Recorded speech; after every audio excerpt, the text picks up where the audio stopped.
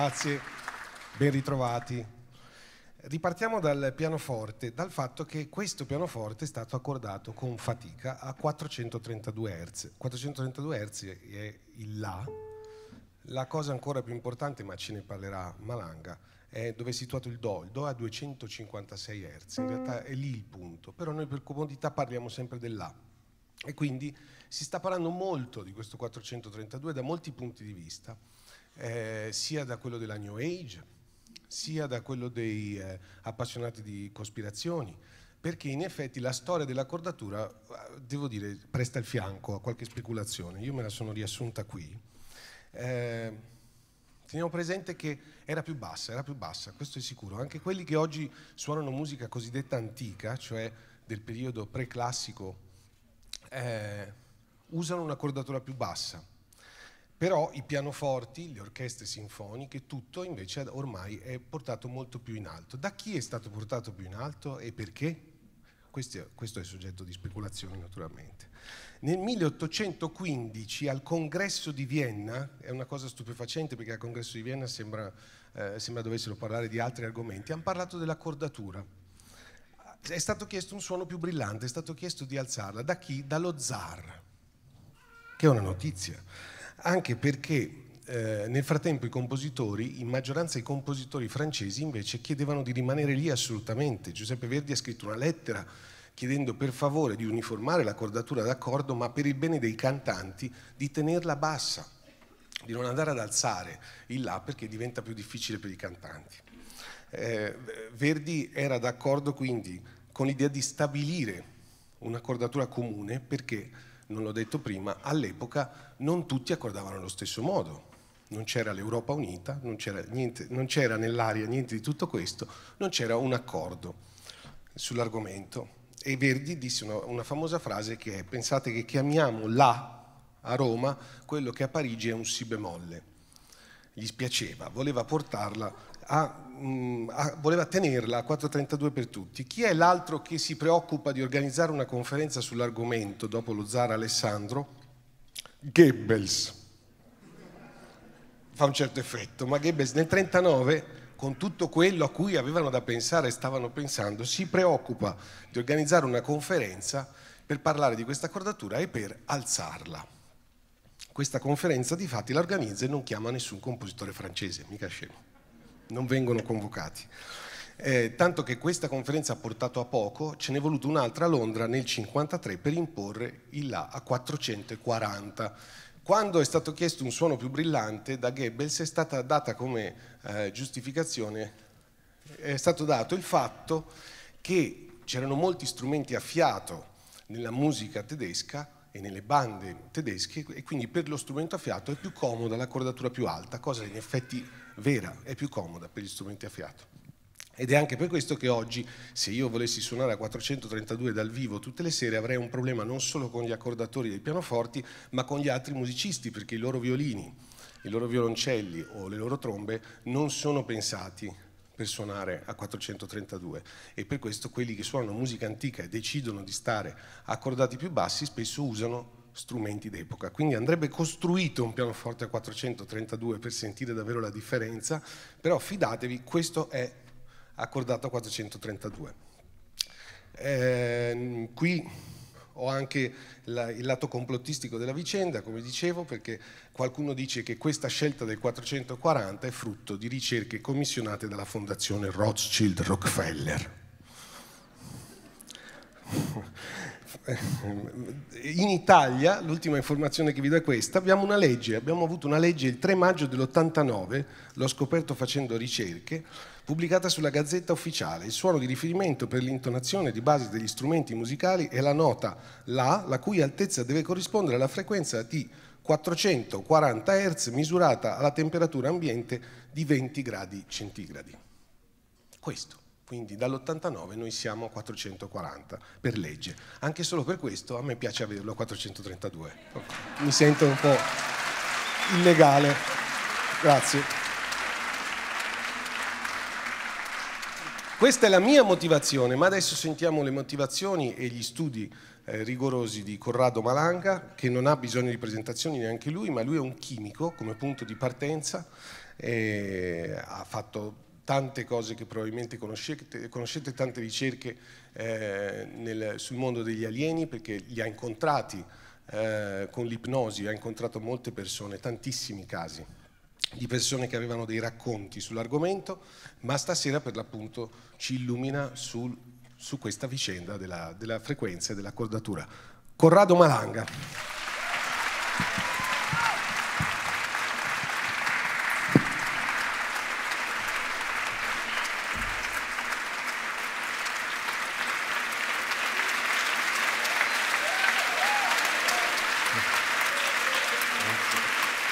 Grazie, grazie. Ah, very well. Non so, non so, se alla fine della mia esposizione sarete così calorosi. Eh, comunque io mi sono fatto dire dov'è la porta di servizio per uscire di, senza essere picchiato. Eh, guardate, Oggi faremo un percorso che eh, vorrei farvi fare un percorso che è mm, molto particolare.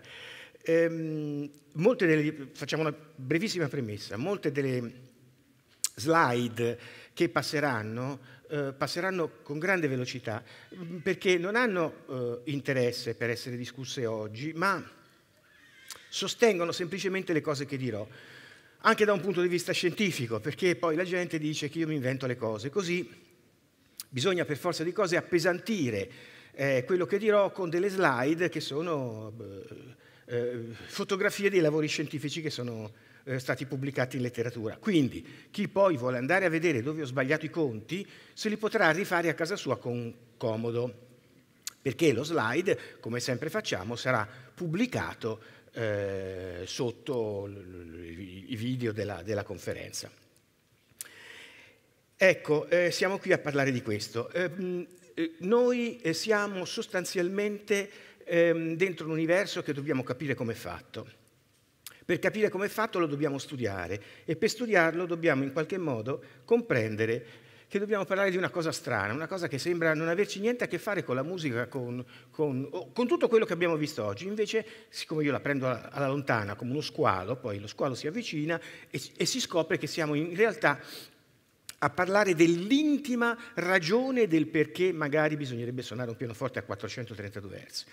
Tutto dipende dalla presenza del fotone e dell'antifotone. Il fotone e l'antifotone sono la cosa più piccola dell'universo e sono quelle che, essere, che deve essere studiata. Quali sono i nostri punti di partenza? Punti di partenza eh, che vediamo qui, eh, come si dice, elencati, ma sostanzialmente sono questi.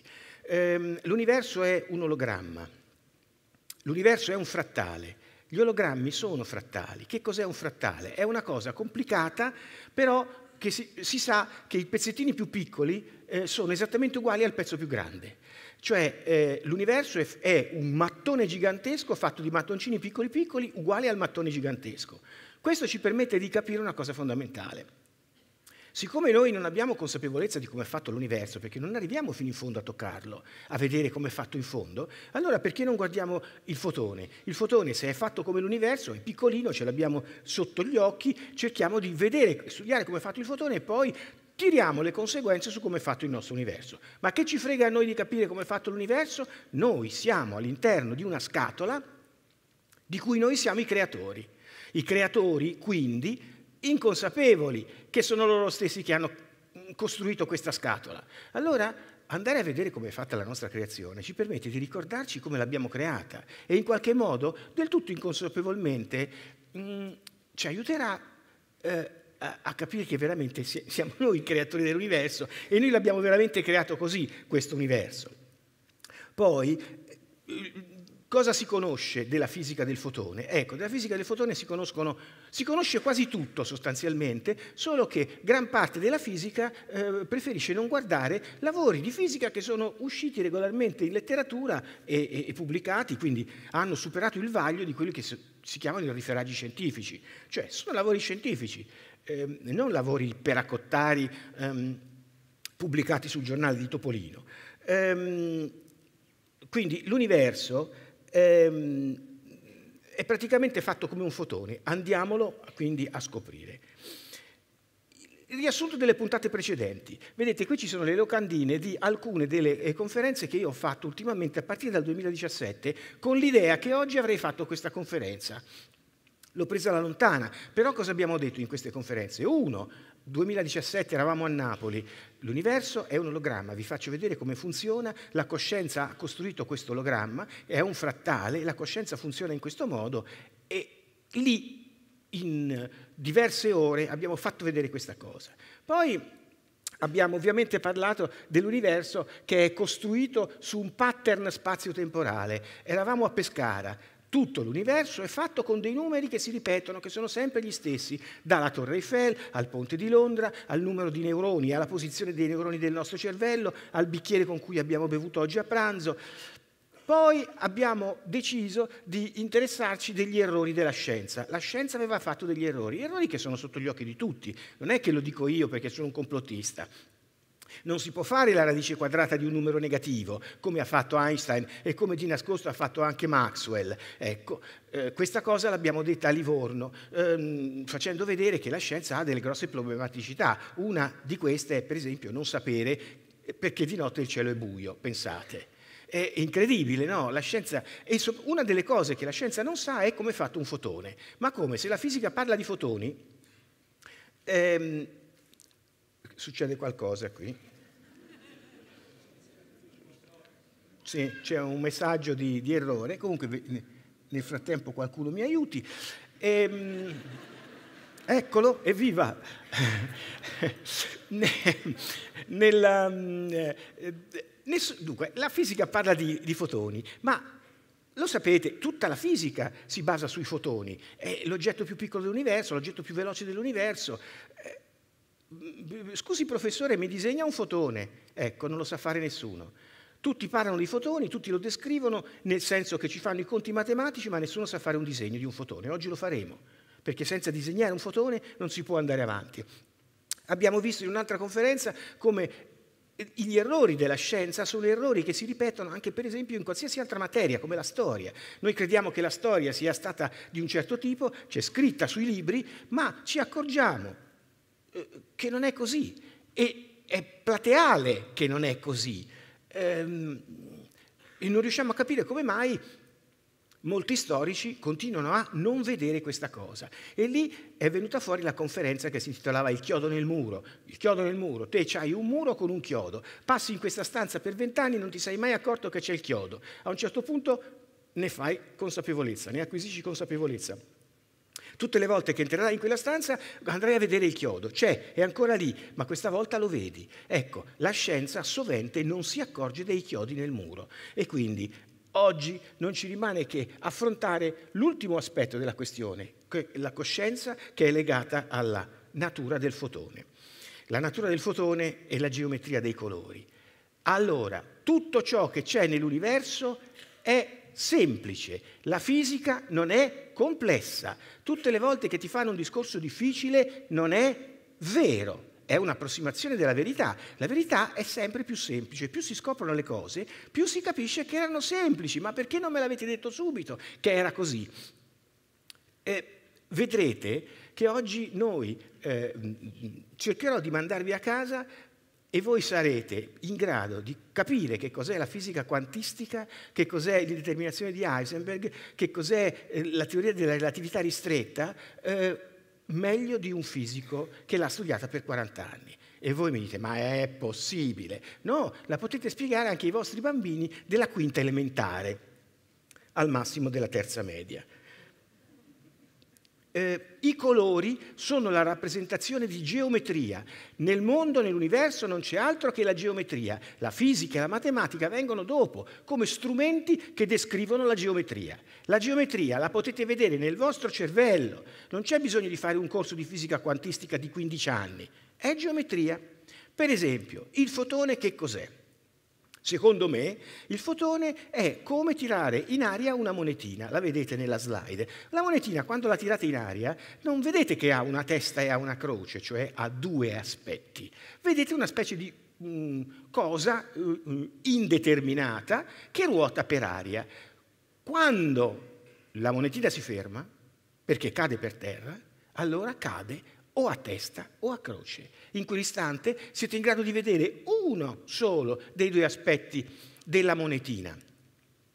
Come si fa a vedere quindi quali saranno i due aspetti del fotone? Perché noi abbiamo detto che il fotone si comporta come una monetina. Eh, bisognerebbe prendere il fotone e raffreddarlo a meno 273 gradi Kelvin, cioè alla temperatura assoluta. In quell'istante qualsiasi cosa che c'è nell'universo si ferma.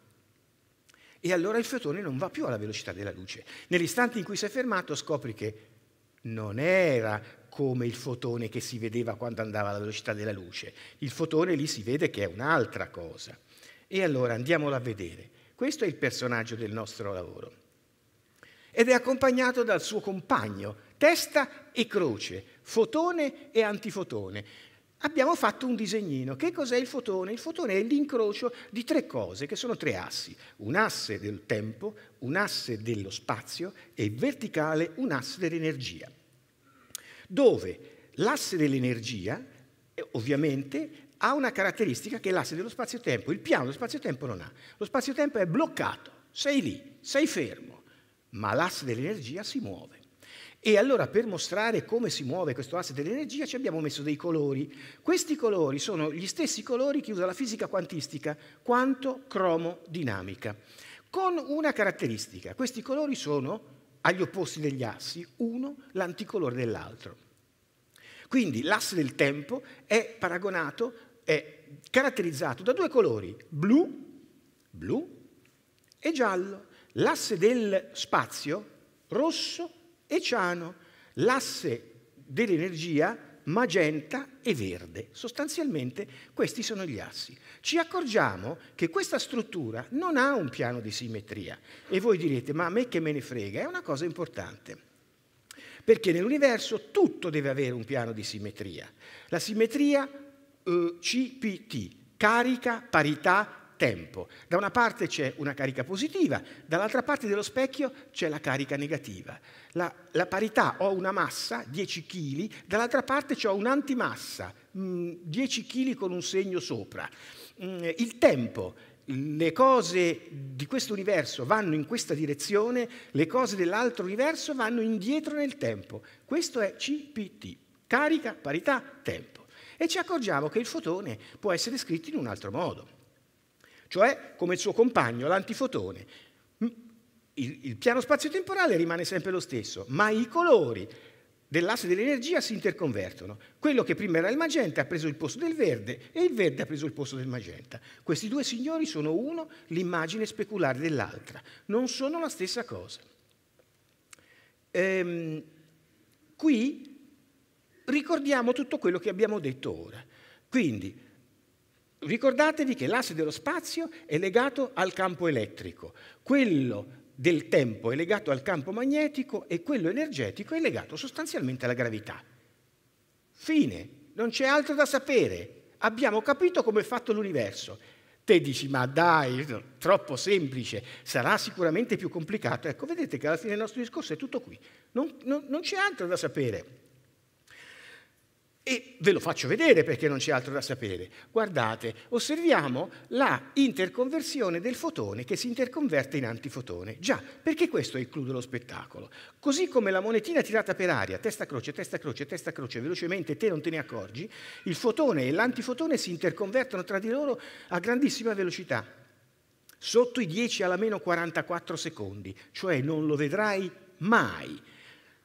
E come? Il piano dello spazio-tempo rimane sempre lo stesso. L'unica cosa che si può muovere, che è un chewing gum sostanzialmente, è una molla, è l'asse dell'energia. Allora guardate il fotone che si specchia con l'antifotone, che è la sua immagine speculare. Andiamo a vedere cosa fa l'asse del tempo.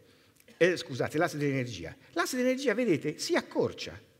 Si sta accorciando, questo lo fa a grande velocità, si accorcia sempre di più, fino a un certo punto a scomparire in questo istante la fisica vede il fotone. Perché? Perché li vede tutti e due insieme, perché questa volta sono uno l'immagine speculare dell'altro, ma sono anche sovrapponibili. Il fotone e l'antifotone solo in questo momento diventano la stessa cosa. A grande velocità, vedete questo dito? Voi non vedete niente, vedete qualcosa che è l'insieme di due cose. la formula limite di risonanza. Ma andiamo avanti a vedere che cosa succede, perché quando andiamo avanti l'asse dell'energia eh, risale, questa volta però con i colori invertiti. Risale con i colori invertiti e alla fine ci troviamo che dove c'era il fotone c'è l'antifotone e dove c'era l'antifotone c'è il fotone. Una coppia di questo tipo si interconverte sempre uno dentro l'altro. Abbiamo capito come è fatto il fotone, abbiamo in mano la capacità di dire l'universo è fatto di tanti mattoncini piccoli che sono fatti tutti così. Questo ci servirà poi per dire come è nato l'universo grande, perché il fotone fa le stesse cose dell'universo grande. Ed infatti qui le vedete. Vedete sostanzialmente, io ho preso alcuni punti eh, che sono quelli più importanti. Ehm, Vedete, il fatto che ci sia un antifotone per ogni fotone è la spiegazione scientifica di quel processo che si chiama entanglement, cioè intreccio, che è questo.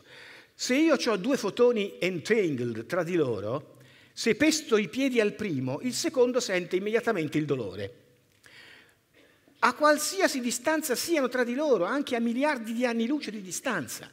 Questo ci fa capire che lo spazio e il tempo non esistono, ma perché questa cosa accade? Il fenomeno dell'entanglement, che è un fenomeno anche sociale, perché io mi sento entangled con qualcun altro, a volte succede questo, in fisica il fenomeno dell'entanglement si sa perfettamente, è stato studiato, non ci sono problemi, meraviglioso. Ma se io chiedo a un fisico, ma perché esiste l'entanglement? Il fisico non lo sa. E io te lo dico perché, perché esiste un fotone che è collegato con un antifotone, perché ci deve essere sempre nell'universo un piano di simmetria, perché se non c'è il piano di simmetria siamo fottuti. E questa è la prima cosa che ci interessa. Um, in questo semi-universo, che è fatto di materia, io vedo solo il fotone. L'antifotone non lo posso vedere, perché i lavori di fisica dicono questo. Se esistesse l'antifotone non sarebbe visibile. Perché? Come l'antifotone lo isoli, lui va indietro nel tempo. Simmetria CPT. Se va indietro nel tempo, mentre stai per acchiapparlo, lui non c'è più. Non lo vedi. In altre parole, i fotoni reagiscono solo con la materia, gli antifotoni reagiscono solo con l'antimateria. Quindi noi stiamo per vedere una cosa, il fotone, qui, pieno di fotoni. Vedete quanta luce c'è? Bene, il fotone non è quello che voi state credendo di vedere. Aumentiamo col chiodo nel muro la coscienza del fenomeno. È una lampadina che si accende e si spegne, che diventa, da fotone passa ad antifotone. Vediamo come fa. Vedi, la, la lampadina si accende e si spegne. Ora aumentiamo la velocità in, diciamo, di riproduzione eh, acceso, spento, acceso, spento. Ora succede qualcosa, sempre più veloce, sempre più veloce e quello che sta per succedere è che ti sembra sempre accesa non è sempre accesa, è accesa spenta così velocemente che ti sembra sempre accesa, è una fregatura. Quindi voi qui state a vedere tutti i fotoni e gli antifotoni, gli antifotoni che sono sempre gli stessi fotoni che state vedendo, quando sono antifotoni non li vedete. Acceso spento, acceso spento, acceso spento, acceso spento, vedete sempre acceso e lo spento, perché l'occhio vede solo la presenza dello stimolo, non vede l'assenza dello stimolo. Quindi, sostanzialmente, voi siete costretti ad avere una visione di questo fenomeno parziale. Vedete metà dell'universo e non ve ne siete mai accorti. Eh, dietro questo fenomeno c'è l'idea che se un fotone virtuale io lo posso disegnare per la prima volta posso dire come è fatta la materia e come è fatta l'antimateria. Quindi posso in qualche modo capire che tra il fotone e l'antifotone è come se ci fosse un pendolo. State attenti perché questo pendolo è il metronomo dell'universo. Mm? Non ci sarebbe, secondo i lavori di fisica quantistica, la dimensione del tempo se non ci fosse il fenomeno dell'entanglement. Quindi la fisica sa che c'è l'entanglement, sa che l'entanglement è legato all'idea di tempo, ma non sa perché esiste l'entanglement. E te lo dico io perché, perché ci deve essere l'antifotone, perché se non c'è l'antifotone non c'è neanche l'entanglement. Quello che mm, eh, si capisce è un problema di coscienza, noi dobbiamo avere la coscienza di questo fenomeno, se no non riusciremo mai a percepirlo. Perché noi non lo percepiamo? Perché c'è un teorema di fisica eh, che ci vieta di vedere come noi abbiamo creato l'universo. Noi abbiamo creato l'universo con una certa frequenza. Bene, e alla stessa frequenza noi lo guardiamo. Male. Perché il teorema di Shannon dice che se tu vuoi vedere una cosa che ha una certa frequenza, fotone antifotone, fotone antifotone, te devi guardare il fenomeno almeno con una frequenza doppia. Quindi siccome noi siamo i creatori dell'universo e abbiamo creato l'universo con questa frequenza, ma lo osserviamo con la stessa frequenza, l'antifotone, se non ne abbiamo coscienza, non lo vediamo mai. Quindi da dove nasce la coppia fotone-antifotone? Perché ho detto c'è un fotone c'è un antifotone, sì, ma da, da dove viene fuori questa cosa?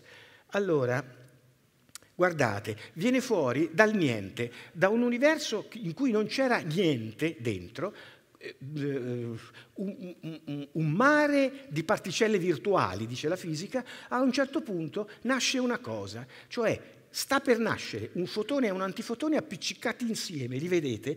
Vedete che caratteristiche hanno questi due, che si vogliono tanto bene, vicini vicini? Eh, il, il, I colori e gli anticolori sono attaccati insieme, quindi quelle cose che simmetricamente ti apparivano in un modo, simmetricamente in quel punto ti appaiono anche nell'altro modo, perché i due modi, il modo e l'antimodo, sono attaccati insieme. Quindi sostanzialmente te non vedi nulla, perché invece di avere una cosa che pesa 10 kg, c'hai una cosa che pesa 10 kg attaccata a una cosa che ne pesa meno 10 e non vedi niente. Ma quello che succede è che questo signore, che io ho chiamato Evideon, da Eideon dal greco, cioè quella cosa che si rende evidente perché sta facendo qualcosa, perché in questo universo se te non fai niente sei visibile. Questo Evideon che è questo, bene, i due oggetti si staccano tra di loro, si allontanano tra di loro, sempre di più.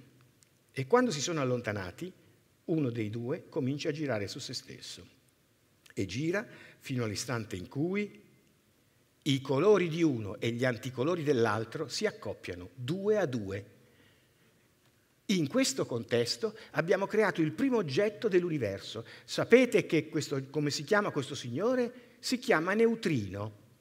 Toh, abbiamo disegnato un neutrino. La fisica li sa disegnare i neutrini? No, se non sa disegnare neanche i fotoni.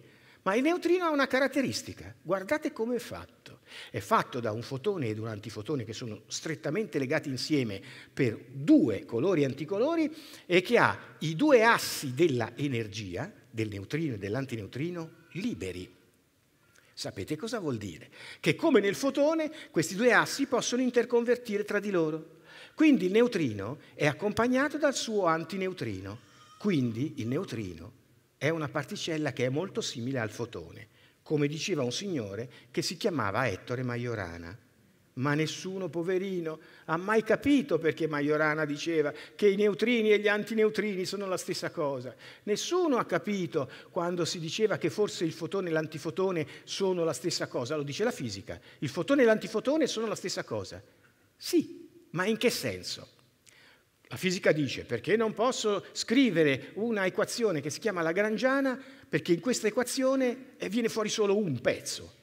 E io mica ti ho detto che il fotone e l'antifotone sono due cose diverse. Ti ho detto che è una cosa sola che interconverte perché ha due facce di una medaglia. Eh, eh, la moneta non sono due monete, ma ha due facce. Ecco, quindi anche la famosa Lagrangiana viene sostanzialmente rispettata. A noi cosa ci frega ora? Guardate, i fisici fanno un po' come i medici, complicano a volte le cose.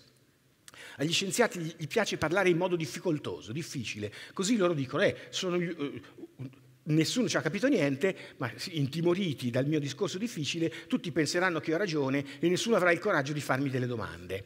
Cioè c'è un po' la paura, infatti le persone più asociali di questo mondo, lo sapete, sono da alcuni studi di sociologia i chimici e i fisici che hanno scelto cose difficili, così almeno nelle discussioni con altri non, vengono, non hanno paura di essere contraddetti. Io vi dico, vedete in questa fotografia dove non si capisce niente, c'è sostanzialmente una serie di cose che dicono i fisici, le forze, le particelle, i casini tremendi. Quando il fisico non sa cosa fare si inventa una nuova particella, dall'oggi al domani. Non l'ha vista nessuno, non ha importanza, deve esistere, perché sennò gli casca tutto il cartello di, di carte, il castello di carte che si sono mh, mm, costruiti l'universo è fatto solo di tre cose, leptoni, gluoni, vedete, e quark. quark, leptoni e gluoni. Del resto vi potete dimenticare. Dobbiamo spiegare la fisica quantistica a un bambino di 7 anni, 8 anni.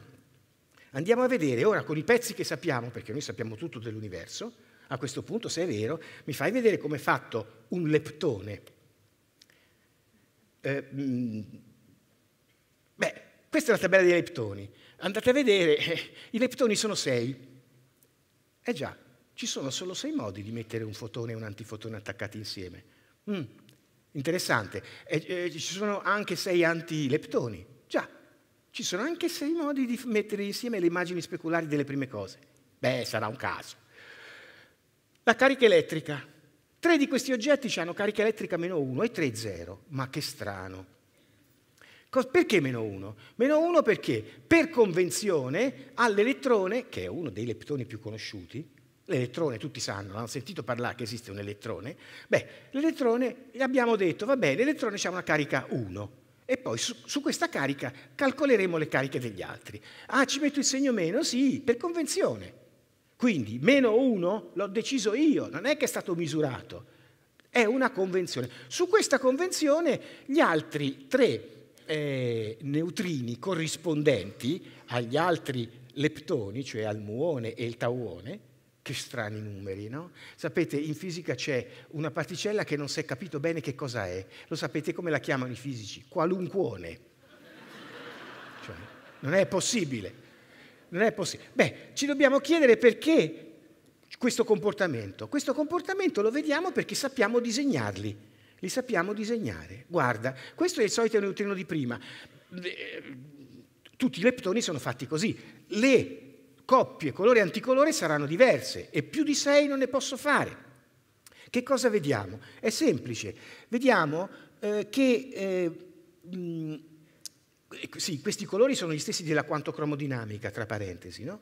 Ehm, ma in particolare il neutrino. Il neutrino, che è veramente la particella di Majorana, e ora sappiamo perché, perché ne abbiamo fatto il disegno, ah, gli assi dell'energia si possono interconvertire, si interconvertono tra, talmente ve- velocemente che il neutrino, che avrebbe una massa, convive velocemente con l'antineutrino, quindi sostanzialmente i fisici non vedono niente. Qualche volta, in qualche piccola sperimentazione, gli è sembrato di vedere che il neutrino potrebbe avere una massa, però è, è molto aleatoria, sfuggente, sfuggevole il fenomeno.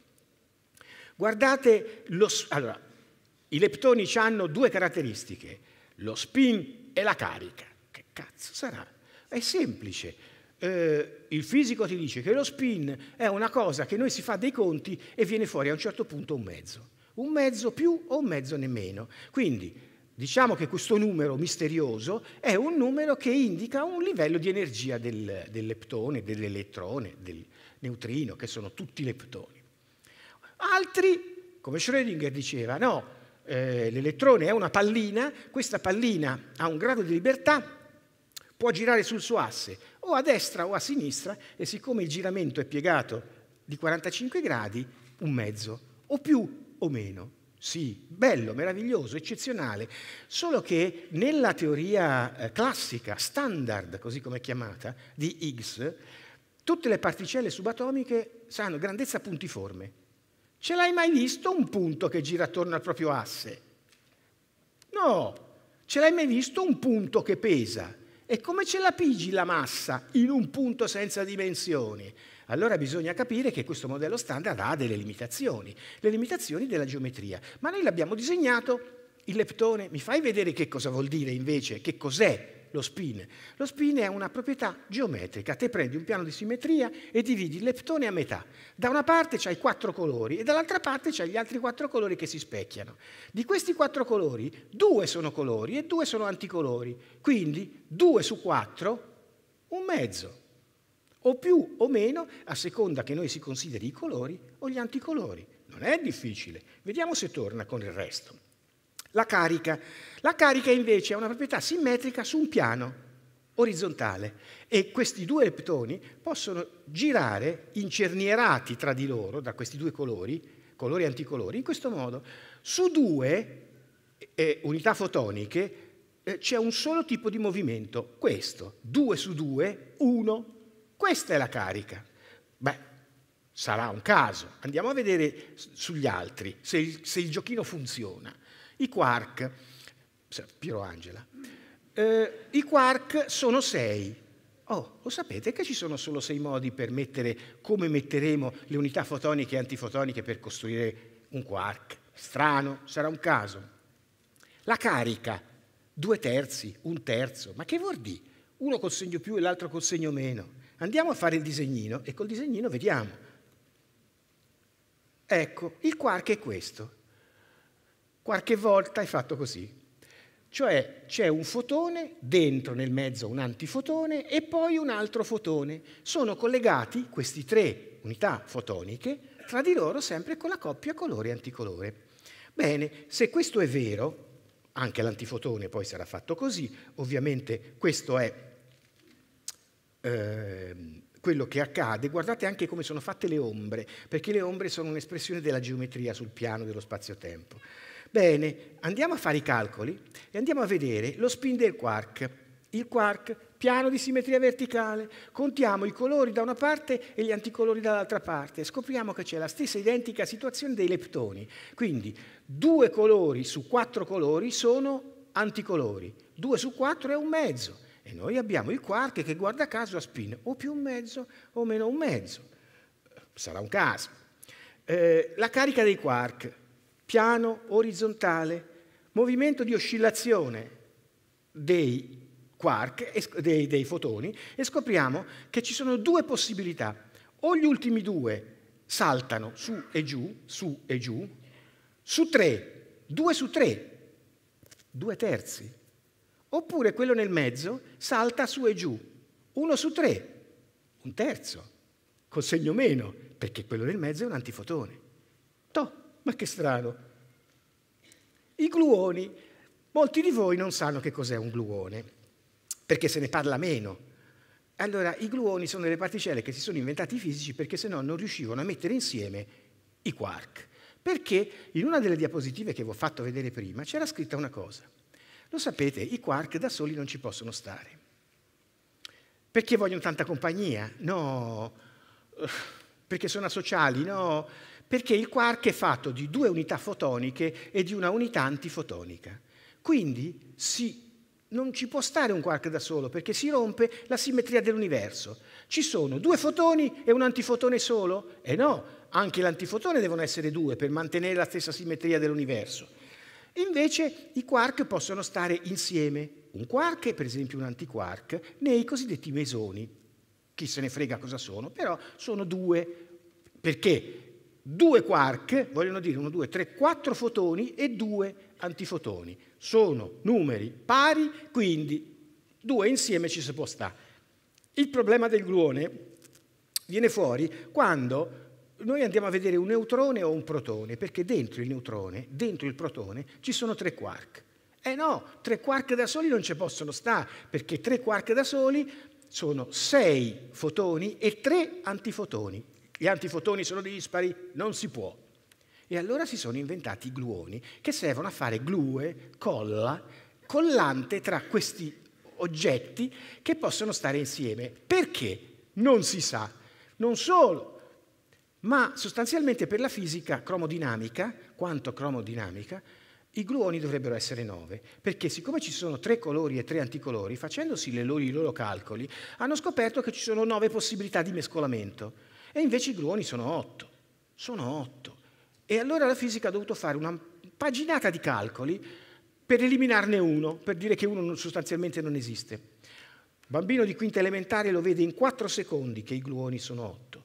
Questo è un gluone, due fotoni attaccati insieme, non un fotone e un antifotone. Due fotoni. Questo prevede che se attacco insieme due fotoni posso fare un aggancio a tre.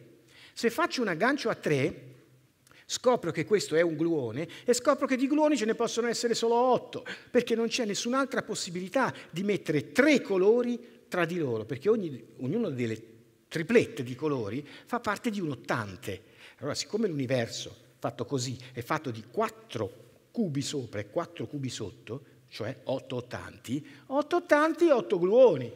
Andiamo a vedere se torna il discorso dei quark, dei, dei, della carica eccetera, eccetera. Lo spin dei gluoni, piano di simmetria nel mezzo, piano di simmetria verticale, dilacio tre colori, dilacio tre anticolori, 3 diviso 3, 1. Fatto lo spin del gluone. Vogliamo andare a vedere la carica del gluone? Piano orizzontale. Faccio la piegatura dei due aggeggi e scopro che non si possono piegare perché sono legati a 3. Carica del gluone? 0. Torna. Ecco, ora abbiamo un modello sostanzialmente che ci permette di capire come è fatto tutto l'universo, spiegato in 5 minuti. E voi potete scegliere o vi piacciono le pallette colorate o i casini di matematica che dovete studiare per 50 anni per capirci qualcosa. La scelta è vostra, eh?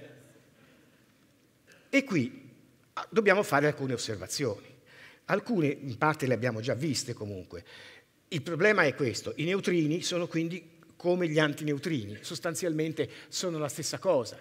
Eh, e, e, sono la prima cosa che si è formata nell'universo, dicono gli astrofisici. È vero, l'avete visto come si sono formati? È la prima cosa che è venuta fuori dalle Videon. Eh, ehm, i, leptoni, ah, I leptoni urtano tra di loro e si spaccano tra di loro. Succedono delle cose all'LHC, cioè al Large Hadron Collider, dove tutte le volte che tu accendi Large Hadron Collider per fare un esperimento spendi 27 milioni di dollari. Vedrete fra un istante che gli stessi risultati che ottiene il Large Hadron Collider li otteniamo noi col giochino delle palline colorate sulla scrivania di casa vostra gratis.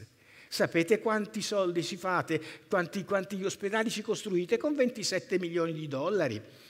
Ovviamente ognuno poi può scegliere il sistema che vuole.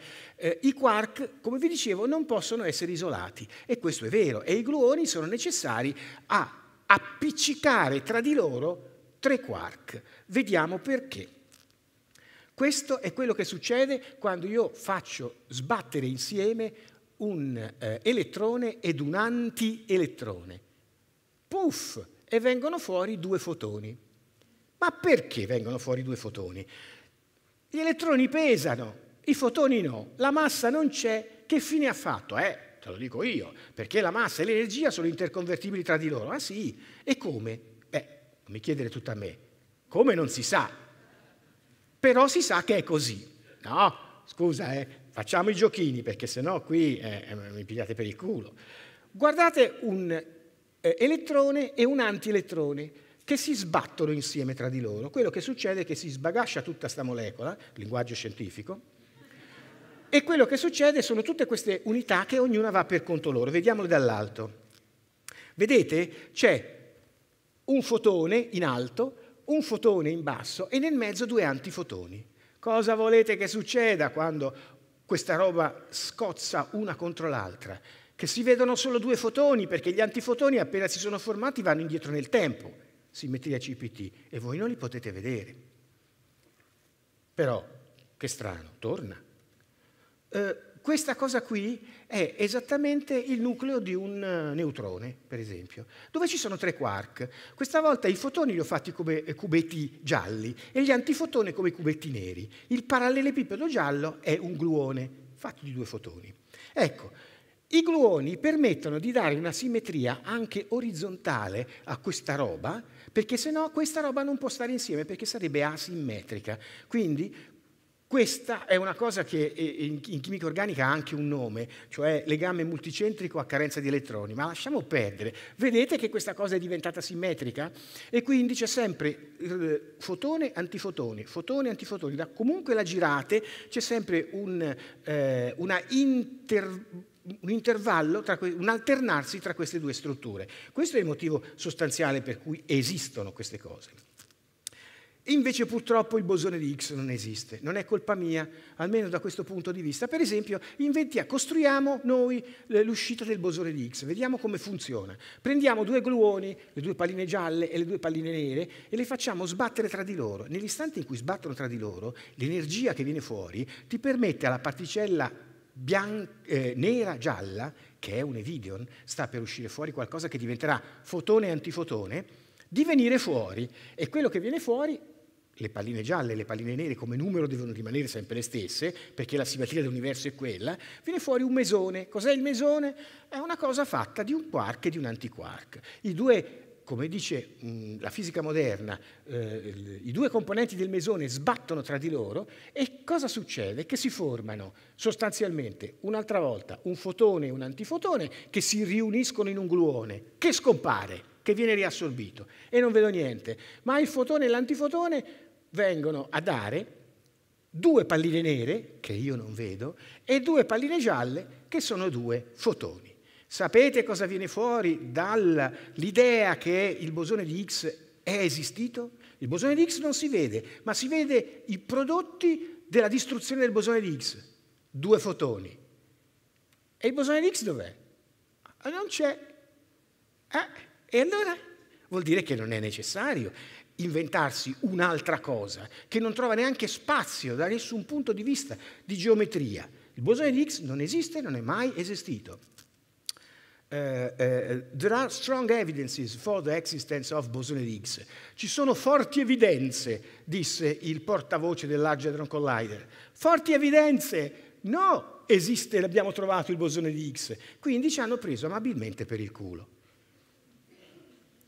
Uh, cosa dice la scienza ufficiale di fronte a tutto questo? Bene, nei lavori di, di fisica c'è già scritto tutto. Quello che ho detto è già tutto scritto. Guarda, ma il fotone ha massa? Sì, certo, il fotone può esistere senza massa. Ah, interessante, ma non mi avevano insegnato che il fotone aveva massa. Fotone senza massa, sì, piccola, a piacere, ma la massa ce l'ha. Ma è interessante. Questa è una review, eh, per esempio, sul Journal Physical Mathematics, che dice il primo a parlare di fotoni è stato il signore che si chiamava De Broglie, a pronunciare la parola fotone, a coniarla, è una sua invenzione. De Broglie, che è stato il primo a dire il fotone ha due facce, il fotone ha una doppia natura e qui in questa review ci sono altre, eh, altri ricercatori, una ventina di, di, voci bibliografiche molto interessanti tra tutte quelle che, che dicono che il fotone ha una doppia natura. Certo, la natura dell'antifotone. E infatti qualcuno se la inventa. Fotone composito. Composito da che? Da due parti. Ah, interessante.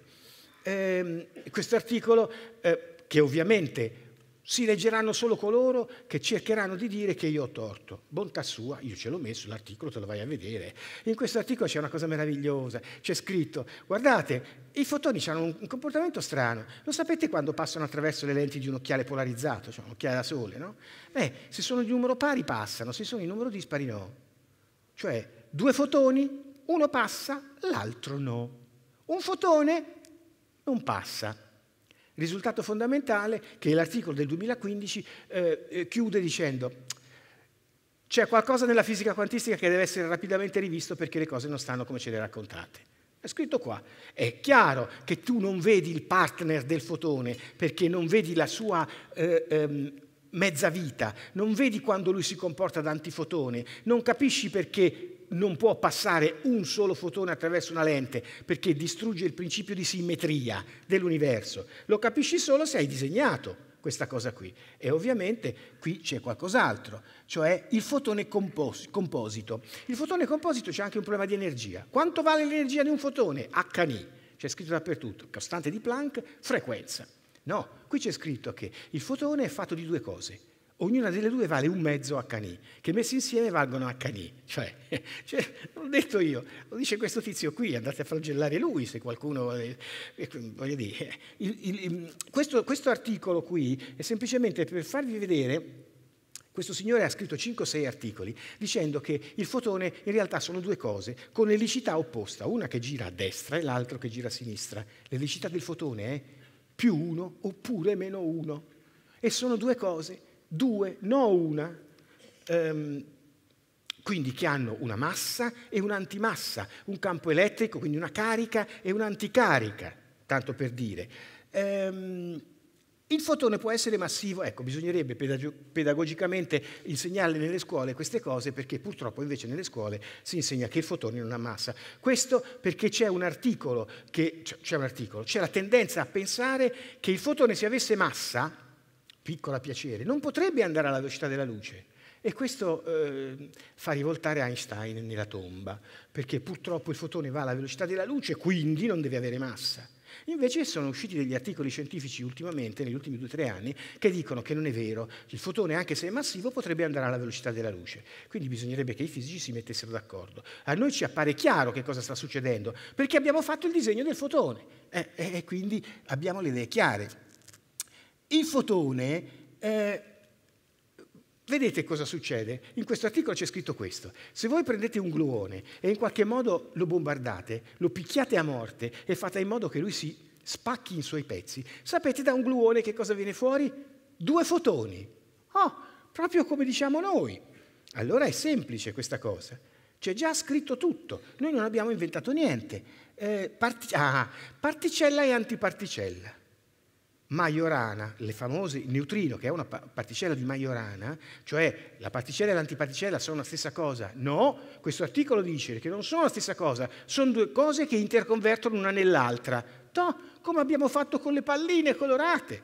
Quindi un bambino piccolo che ha studiato come sono fatte le palline colorate sa molto di più di un fisico quantistico che ha capito questo, ma non sa perché succede e non lo sa perché non può disegnare un fotone.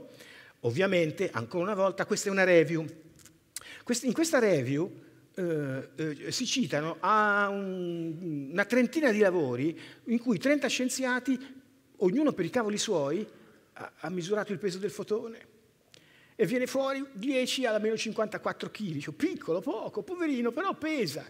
Ecco, quindi non, non, ci credete più alla gente che dice che i fotoni non hanno massa, perché non è vero, ovviamente.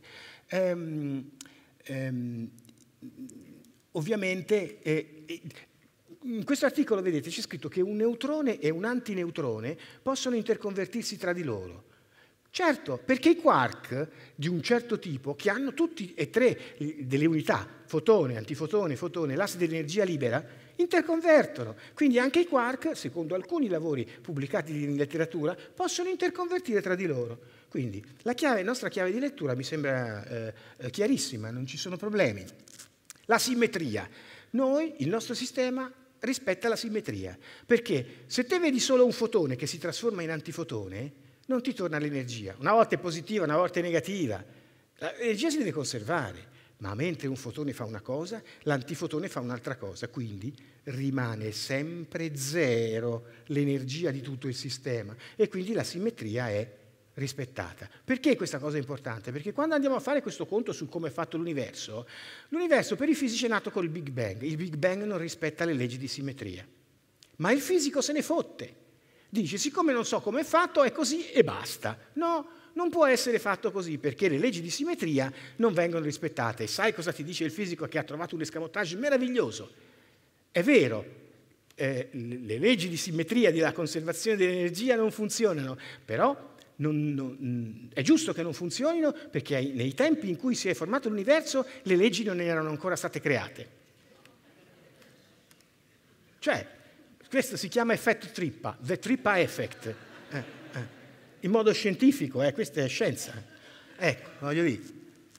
E quindi ovviamente eh, l'interna struttura del fotone. Il fotone ha una struttura interna. Certo, noi l'abbiamo disegnata con le palline colorate, la sappiamo noi qual è la struttura del fotone. Gli altri la possono postulare perché si fanno un sacco di... Eh, sì, eh, eh noi non ne abbiamo bisogno. L'universo è un frattale olografico. Allora, l'idea del frattale olografico è una cosa, perché la gente, che cavolo è un frattale olografico? Però ha la struttura quindi della coppia fotone-antifotone. Noi abbiamo descritto il fotone-antifotone, andiamo a descrivere come è fatto l'universo, l'abbiamo creato noi, ce lo dobbiamo ricordare come l'abbiamo fatto. E la nascita dell'universo virtuale nasce quindi da una coppia, da formazione di qualcosa che è un fotone e un antifotone. In realtà l'universo, ve lo dico subito, è un piano, dice la cosmologia moderna, è un piano spazio-temporale rigido, fermo, fisso.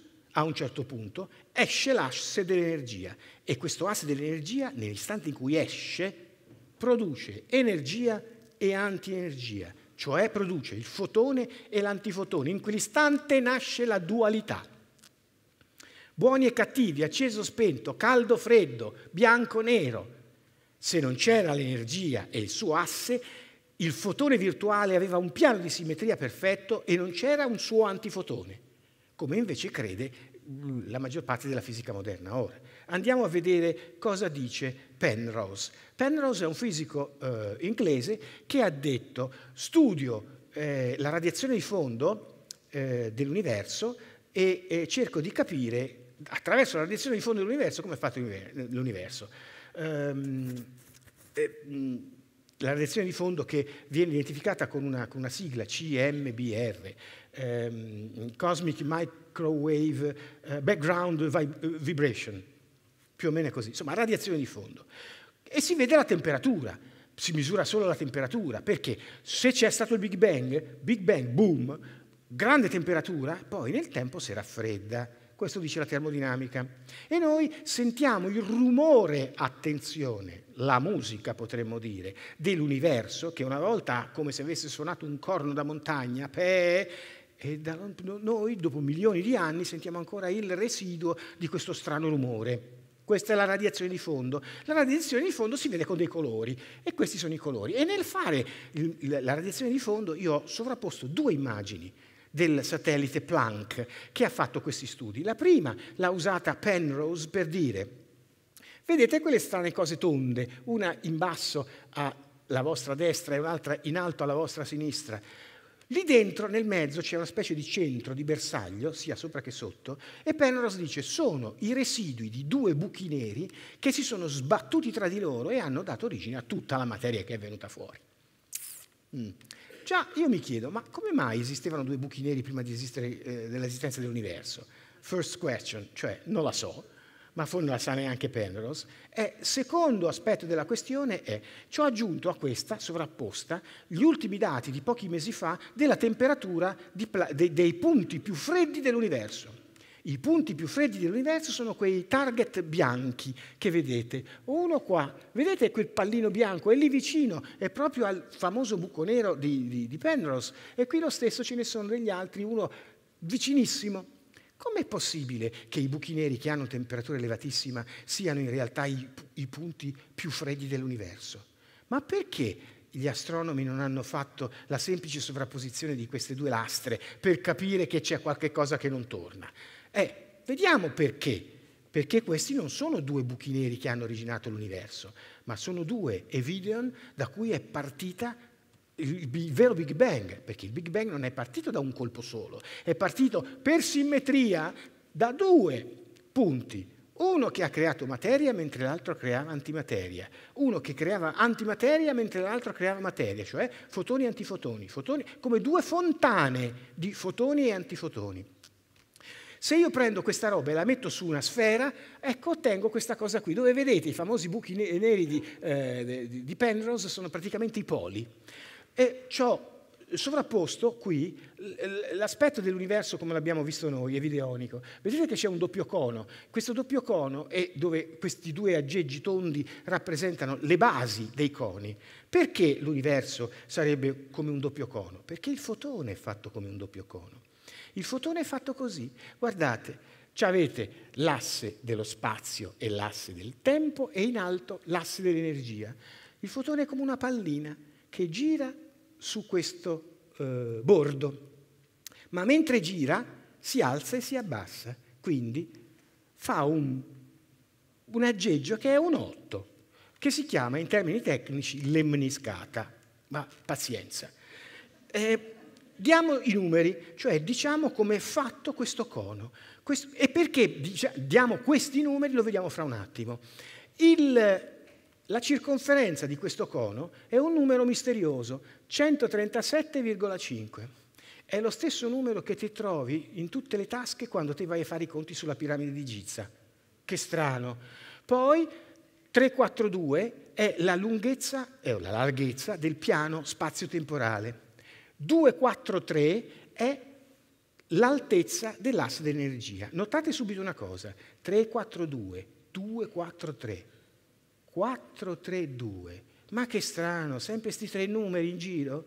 Che significato ha tutto ciò? Eh, che significato hanno i numeri? Noi abbiamo messo al posto delle palline colorate anche dei numeri. Questi numeri cosa sono? Cosa rappresentano? Sono chili, sono joule, sono secondi, sono gradi. Che cavolo sono? Allora, i numeri nel mondo evideonico rappresentano un universo senza dimensioni, perché l'universo, secondo la fisica moderna, è non locale, cioè non esiste né lo spazio, né il tempo, né l'energia. E questa roba qui cos'è? Aspetta che ci arriviamo. Se è vero che dai calcoli viene fuori che non esiste né lo spazio, né il tempo né l'energia, questi numeri sono oggetti. L'unica cosa che esiste è la simmetria. Che cos'è il numero 4? Il numero 4 è un vettore, cioè una freccettina, che punta nella direzione 4, che è lunga 4 e che si chiama 4, e che è 4 volte più lunga della freccettina 1. Fine. Quindi tutte le formule sono adimensionali. Ma nell'istante in cui in una formula ci metti una unità di misura, chili da una parte, si autodimensiona tutto il resto. Perché le dimensioni non esistono. Le dimensioni a questo universo gliele dà il cervello umano, che è, come diceva Pribram, un lettore di ologrammi. Allora, questo è quello che è il significato. Notate un'altra cosa. Questi numeri sono anche la rappresentazione 1, 4, 7 per tutti di accordi di un pianoforte. Che strano. Vedremo perché. Quindi ci siamo accorti di una cosa. 137,5 è una circonferenza, diviso un'altra circonferenza da un numero puro. L'altra circonferenza è 2π greco R, è una circonferenza. Al posto di R ci metto φ, questo numero qui, e che cos'è? È la lunghezza dell'asse dell'energia, 2π greco φ, quindi l'universo, se fosse un cerchio, sarebbe la, il, il, la circonferenza 2π greco φ. Questo rapporto dà 13,5. Il, l'apotema di questo cono, cioè questo coso eh, eh di lato, è, lungo, è questo strano numero 123.456.790, 123.456.790 all'infinito, che guarda caso è uguale a 2 su φ. Questo φ, che è 1,62, sta per diventare fra un attimo 1,618,033, cioè la sezione aurea. Attenzione. Questi numeri non li abbiamo tirati fuori dal cappello, questi numeri hanno una caratteristica però, ve ne dico una per tutte. Sono numeri che ritroviamo nei calcoli della quantistica. Per esempio, io ho riportato qui quattro casi, ma ve ne dico solo uno per brevità. Eh, se la lunghezza d'onda, per esempio, di un fotone è 1.23, cioè esattamente l'apotema del cono, eh, la sua frequenza di oscillazione è 243. Che strano, proprio come la, lunghezza dell'asse dell'energia. E la sua energia, la sua energia è 1,61 8033 per 10 alla meno 22 joule, cioè la sezione aurea. Ecco, se voi mettete questi numeri qui dentro, ottenete gli stessi numeri dell'Evideon, ma che strano. Dunque l'universo è nato, quindi, con lo spazio-tempo bidimensionale, l'asse dell'energia che si estrude a un certo punto e a un certo punto succede una cosa. I fisici la chiamano rottura della simmetria. Questo cono perfetto e meraviglioso si è piegato da una parte. La parte di sopra si è piegata così, la parte di sotto è andata a finire dall'altra parte. E qualcosa è cambiato nelle misure. Non ho più 13,5, ma ho 137,03 diviso 2π greco φ, dove φ è la sezione aurea, 1,61,8. 137.03. Ma non sapete che cos'è questo numero? La costante di struttura fine dell'universo. Un numero che entra in tutte le più importanti formule di fisica e che i fisici non sanno da che parte viene. Quello che era il 137,5 ora è diventato 137.03. È interessante questa cosa. E che cos'era 137.5? 137.5, il famoso numero che viene fuori sempre dalle piramidi, magari non c'entra niente, è un angolo 360 gradi diviso il quadrato della sezione aurea. 137.5 è l'angolo aureo, cioè è il rispettivo di 1,618,033 in angoli, in, in, in gradi. Eh, Ecco come il cono è cambiato. Era prima dritto così, poi si è piegato in questo modo. Guardate sotto come è cambiata l'ombra del cono, perché su questa ombra poi ci lavoreremo. Vedete, è tutto rimasto rigido, anche l'angolo centrale si è piegato in questo modo ed è rimasto sempre sui 40, sostanzialmente 40 gradi. E 6, 48, ma eh, c'è un'approssimazione della grafica qui. Cosa dice la letteratura scientifica? Perché la letteratura scientifica deve dire le cose che dico io, perché se no la gente non ci crede. Ecco, la letteratura scientifica dice che ehm, per quanto riguarda l'idea della nascita dell'universo, noi abbiamo un universo in cui c'è poca materia, tanto vuoto e non c'è antimateria. Quindi la simmetria CPT non c'è. Ci sarebbe se ci, sare- se ci fosse tanta materia e tanta antimateria. Ebbene, come si fa a spiegare un universo fatto così? Il fisico ormai si sa cosa dice. Esiste una materia oscura che io non vedo, ma ci deve essere lo stesso per eh, rimettere a posto i conti. La materia oscura è oscura perché è oscuro il cervello del fisico. Cioè, come fai a tirare fuori una cosa che non c'è, che non si vede, che non si vedrà mai, ma tu imponi che ci sia perché se no non ti torna la tua teoria sbagliata? Ti pare un discorso scientifico questo? Ecco, questo lavoro scientifico, come altri venti, dicono non c'è bisogno di rompere le palle all'antimateria, alla, scusate, alla materia oscura, perché l'universo è nato senza eh, secondo il secondo principio della termodinamica, cioè creando tanta materia e tanta antimateria. Questo solo se esistono gli antifotoni. Ah, e basta con Einstein, dice questo lavoro scientifico. Eh, che lo spazio-tempo si piega? Non è vero, perché i lavori scientifici pubblicati dalla NASA dicono che lo spazio-tempo è rigido, che il tempo esista non è vero, il tempo è solamente un frutto numerico di una equazione, che è solamente il fatto che un oggetto si può spostare nello spazio-tempo. Allora, siccome un oggetto si può spostare, se prima sono qui e dopo sono lì, prima e dopo ha senso, ma se un oggetto è qui prima ed è qui dopo, prima e dopo non servono. Quindi il tempo è solo un'astrazione numerica che non ha nessun significato. Eh, ovviamente, che ti devo dire? La, il fotone light, il fotone light non è come la Coca-Cola, vuol dire il fotone che si vede come, come luce. Mm.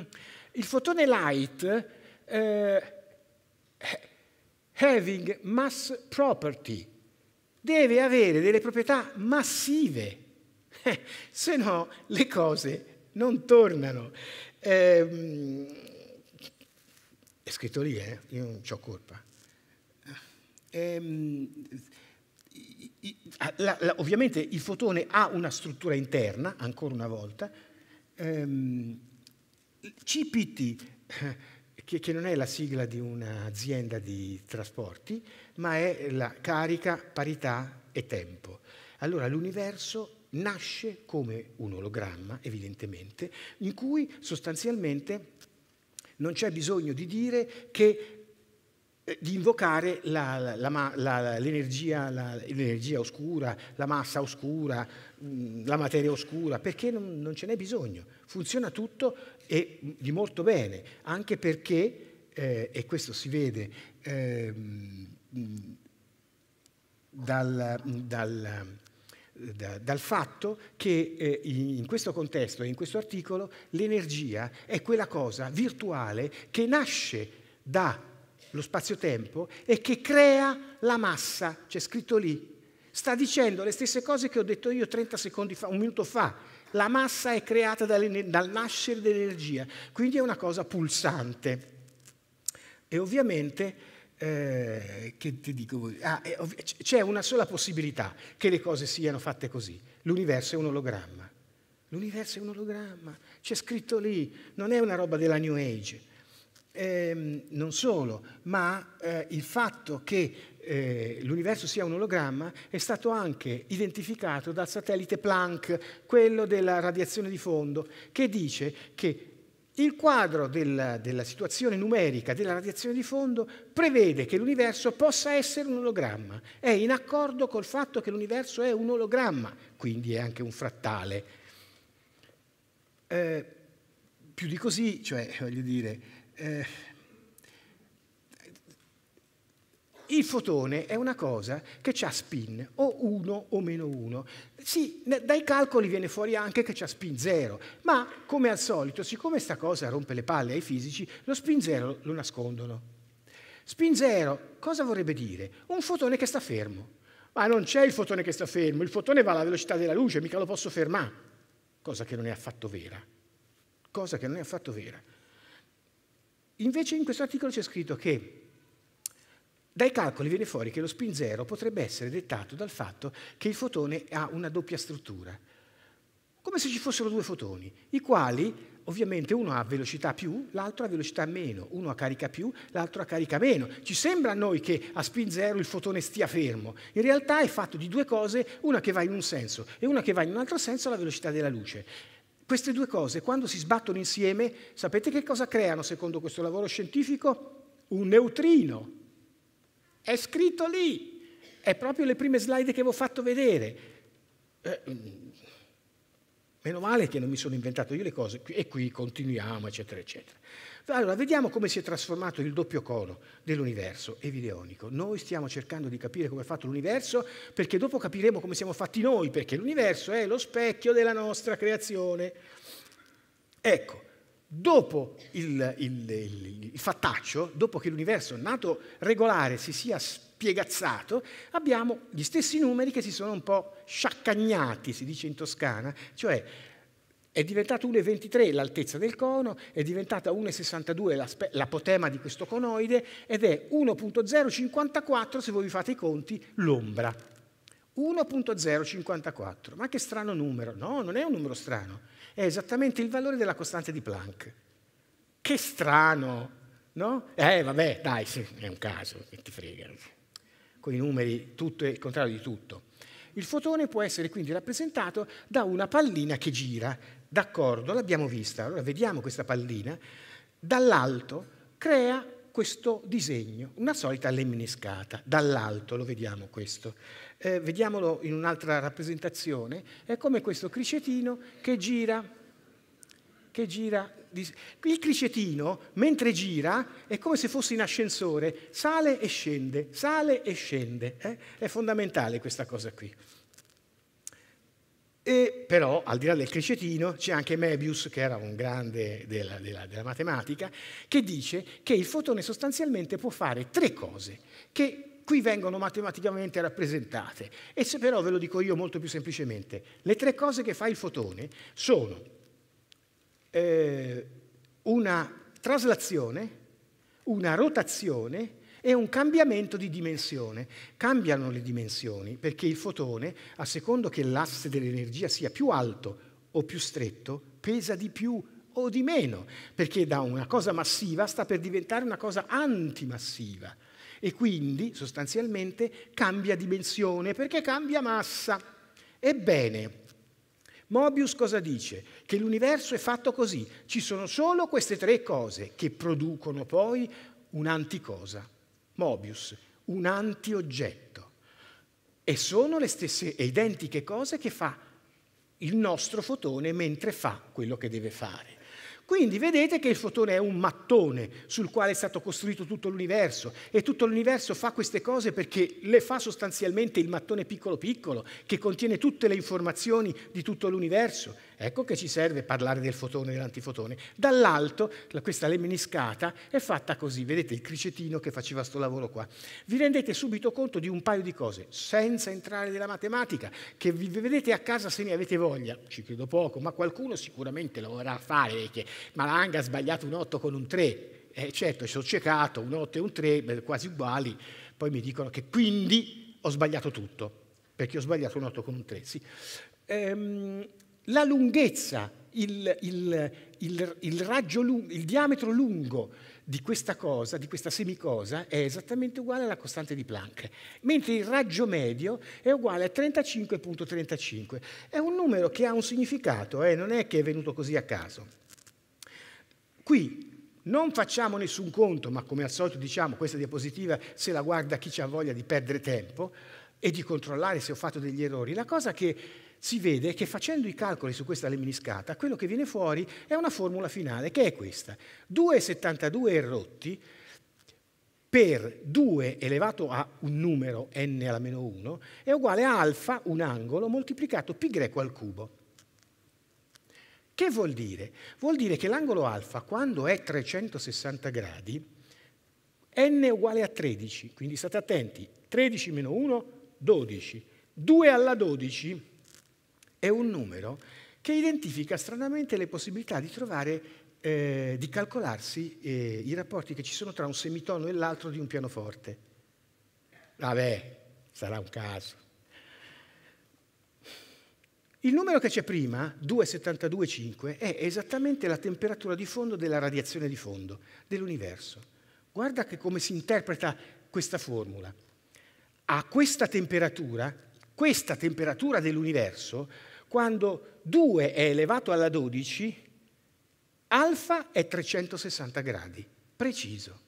Ma che strano. Ma se guardiamo meglio questa struttura, questa formula, vedete che alfa per greco al cubo, cioè 360 gradi per greco al cubo, è dato da una, da una formula che dice che f di x, elevata alla greco, per greco, quella f di x lì, sapete quant'è? 13,49. Che strano. 13,49, ma non era quella frequenza che compariva in quell'altra formula. Cosa vuol dire questo? Che se l'universo fosse uno strumento musicale, alla temperatura della radiazione di fondo, egli, lui, vibra a 13,49. 13,49 Hz, 13,49 patate, 13,49 qualcosa, ma è 13,49. E questa è una cosa molto strana. Come è molto strano il fatto che il raggio medio della lemniscata 13, 35 per 35 elevato a, al numero di Nepero, o mi dà la sessione aurea precisamente per 10 alla quarta. Ma che strano! Saranno tutte coincidenze che si incastrano una dentro l'altra. Che problema c'è?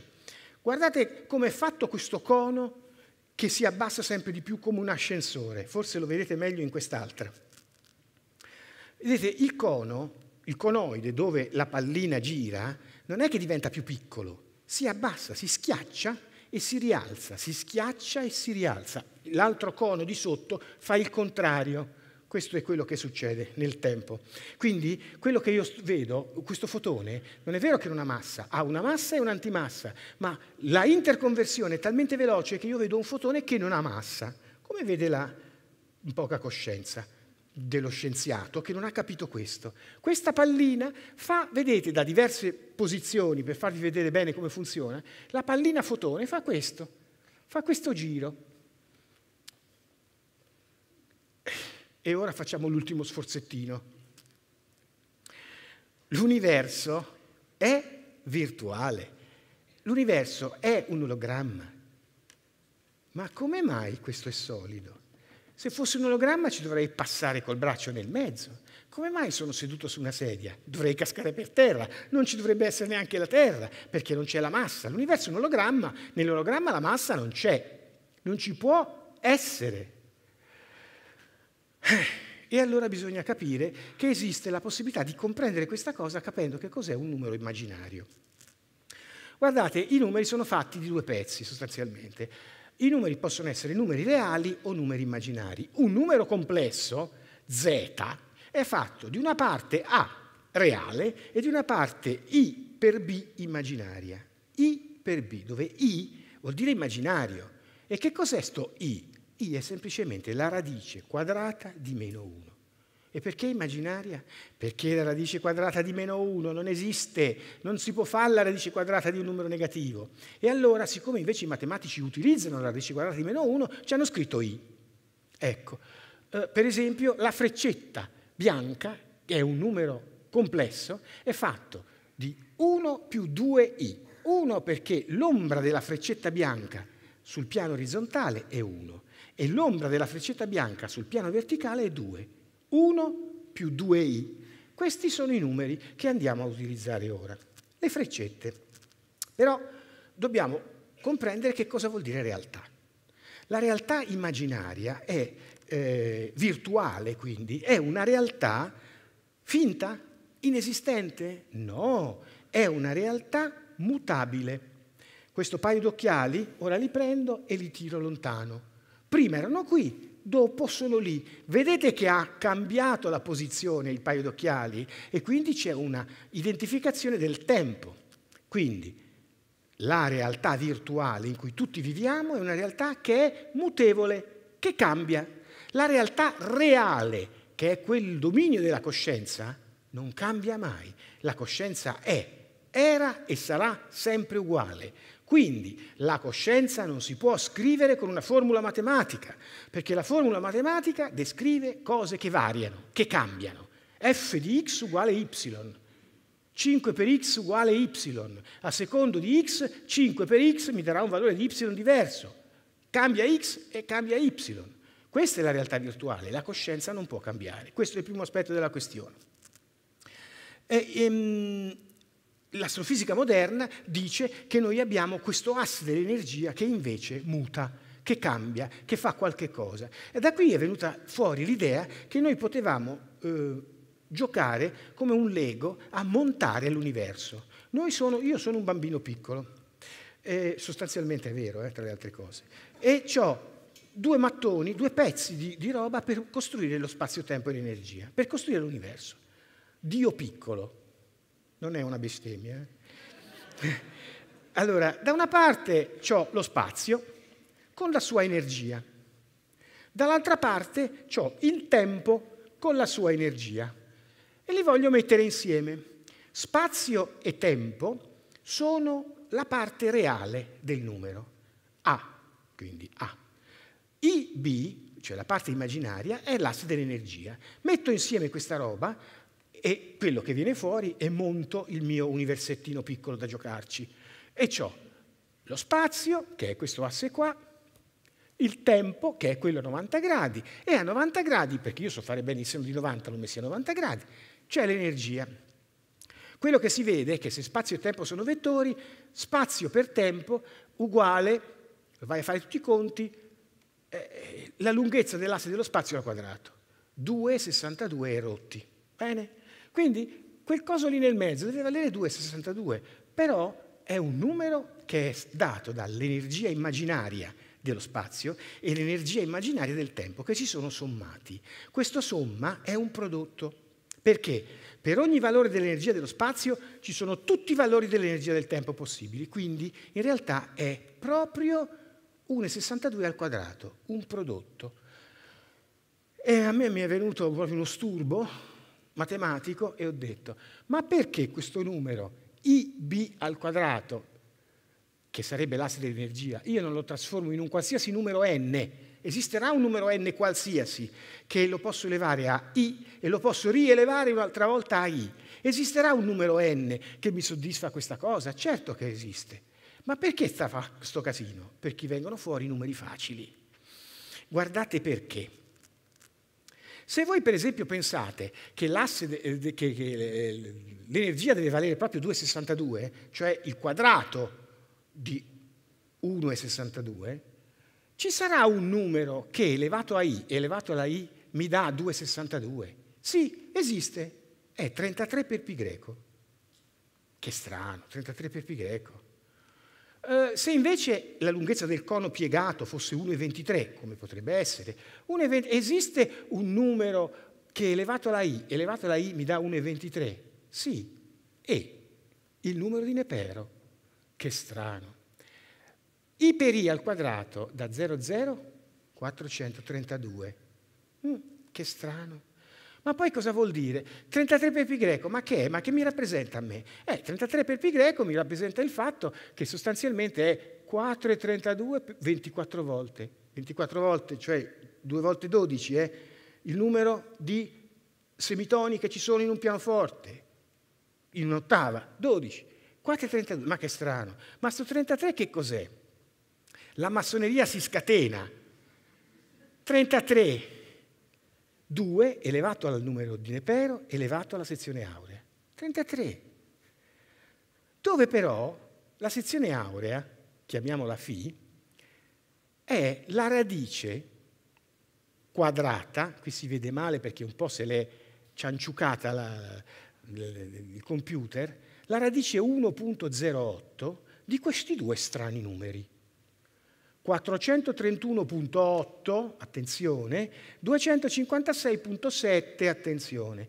Che cavolo sono questi due numeri? Questi due numeri sono la frequenza dell'A del pianoforte di Bollani e la frequenza del Do del pianoforte di Bollani. Non 432 e 256, ma due cose simili, che verranno fuori tra un secondo. Guarda che strana radice, 1.08. Ma da dove viene fuori 1.08? 1.08 è l'angolo del pentagono aureo. È un numero che ci romperà le palle per un po'. Tutto questo a noi che ce ne frega? E ve, lo dico io perché. La mia domanda era, ma questo leggio è solido, è virtuale, è finto? Noi abbiamo visto una cosa, che questo leggio, cioè la massa, la materia, è venuta fuori dalla somma di due numeri, dall'interazione di due numeri, che erano l'energia dello spazio e l'energia del tempo messe insieme, montate insieme. Queste due energie hanno dato origine a un numero n elevato alla i ed elevato alla i, un numero iperimmaginario. I numeri iperimmaginari sono reali, cioè questo tavolo è vero perché è stato fatto da due pezzi immaginari. Questo tavolo è vero, ma non esiste. Lo vediamo noi perché nel nostro universo è matematicamente stato costruito su due cose immaginarie. Quindi noi viviamo in un universo totalmente immaginario, totalmente virtuale, totalmente olografico, in cui per un puro caso matematico la massa a noi ci appare solida, ma è costruita di due pezzi finti. Questa è una cosa che vi potrebbe sconvolgere stasera quando andate a casa, vi guardate intorno e dice, porca puttana, sono in un, in un film. Cosa... Ora, tutto questo, come può essere visto dalla scienza nota, ufficiale? Cosa penserà Einstein, Maxwell oppure Heisenberg delle tre premi Nobel di tutto questo? Ecco, vedrete tra cinque minuti che sia la teoria della relatività, sia l'equazione del, de, di campo del fotone, sia il, il principio di indeterminazione di Heisenberg, che non è un principio tra le altre cose, ma è una formula, sono contenute nelle video e che si possono spiegare a un bambino di quinta elementare senza bisogno di fare i calcoli che hanno fatto questi grandi premi Nobel. Per esempio, l'equazione di Maxwell. Maxwell è questo signore con la barba. Maxwell è il primo che ha detto, va bene, De Broglie ha detto fotone un bel giorno, io uso questa parola e ci faccio una teoria sopra. La teoria, il fotone, fa delle cose che sono descritte da queste stranissime formule nel vuoto il fotone fa ste stranezze, ma che vuol dire tutto questo? Guardate, non me ne frega niente delle quattro equazioni di Maxwell, quello che mi importa è che rot E vuol dire non rottura di palle, ma vuol dire rotazione di E. Il vettore E, che è campo elettrico, e il vettore B è campo magnetico. La rotazione del campo elettrico produce una variazione di campo magnetico. La, la rotazione di campo magnetico produce una variazione di campo elettrico, ma sarà vero? Guarda nel nostro modello. La rotazione attorno all'asse dell'energia produce il fatto che, eh, scusa, attorno all'asse dello spazio, produce il fatto che l'energia dello spazio si pieghi e vada con la sua ombre a rompere le scatole al campo magnetico. La rotazione del campo elettrico produce una variazione di campo magnetico e viceversa la rotazione di campo magnetico produce la, la, la, variazione di campo elettrico. Vi ricordo sostanzialmente che nel vuoto il campo elettrico diviso il campo magnetico è la velocità della luce. Ma vi ricordo che la velocità della luce è anche uguale alla lunghezza di Planck diviso il tempo di Planck. La lunghezza più piccola è il tempo più piccolo che ci sono. Cosa vuol dire questo? Che il campo elettrico deve essere trattato come una lunghezza e il campo magnetico deve essere eh, trattato come, come il tempo. Questo vuol dire. Tenetelo presente perché questa cosa a volte sfugge alla gente. L'energia. Andiamo a calcolare l'energia di un campo elettromagnetico. Che casino, guarda che formule della Madonna.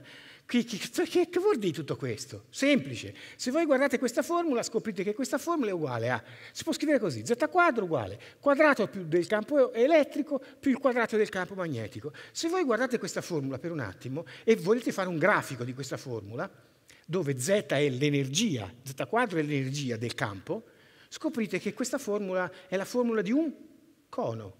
Un cono? Sì, un cono, questo. Dove l'ombra eh, su, da una parte B rappresenta il campo magnetico e dall'altra parte l'ombra rappresenta il campo elettrico. E a noi che ci frega? E a noi ci frega perché il cono ce l'abbiamo anche noi ed è esattamente questo, dove per terra l'ombra, la vedete, è la rappresentazione del campo elettromagnetico. Come dice, ovviamente non me lo sono inventato io, questo lavoro in cui dentro ci sono le referenze dei lavori scientifici che dicono che il campo elettromagnetico è di quel tipo lì ed è un cono. E Einstein, beh, per Einstein è molto semplice la cosa, anche a lui gli piaceva far vedere il doppio cono, è quasi uguale al nostro, variano alcune, alcuni aspetti, ma ci interessano poco in questo momento. Qual è l'equazione di Einstein? E uguale mc al quadrato? No, non è quella, quella lo dice Piero Angela. L'equazione vera è quella che scrivete lì, eh, E al quadrato uguale massa al quadrato per velocità della luce al quadrato più impulso P al quadrato più velocità della luce al quadrato. Cos'è l'impulso? L'impulso è presente quando te cammini per la strada e un grassone di corsa ti viene addosso? Quello è l'impulso. Perché se te cammini per la strada e ti viene addosso la modella Twiggy, capisci che differenza c'è. L'impulso è una massa per una velocità. Eh? Vedi che così si capisce bene cos'è l'impulso? Ecco. Allora, secondo le, le, i, i, numeri di Planck, Planck ha usato delle, delle, dei, i suoi numeri, diciamo così, le sue eh, dimensioni. Eh, per Planck la velocità della luce è uguale a 1 e noi ci abbiamo messo 1. Noi abbiamo postulato che la frequenza del fotone fosse 1, quella eh, formula di sopra si trasforma in questa formula. Il quadrato della massa è uguale al quadra- eh, dell'energia è uguale al quadrato della massa più il quadrato della costante ridotta di Planck, cioè la costante di Planck diviso 2π. La disegnano così, tagliata, H tagliata. Guardate questa formula e dite, ma questo è il teorema di Pitagora. Il quadrato dell'ipotenusa è uguale alla somma del quadrato dei cateti. Questo un ragazzo di terza media lo sa. E a noi che ci frega? Guarda qui, il quadrato dell'ipotenusa, 1,62, che rappresenta l'energia, è uguale al quadrato di 1,23, che rappresenta la massa. Eh? E il quadrato di 1.054, cosa rappresentava lo 0.54? La costante di Planck. Ci siamo rifatti la teoria della relatività in 4 secondi. Era dentro, era dentro, era dentro l'Evidion. Ma c'è di più. I fisici non sanno come la massa e l'energia si trasformano tra di loro.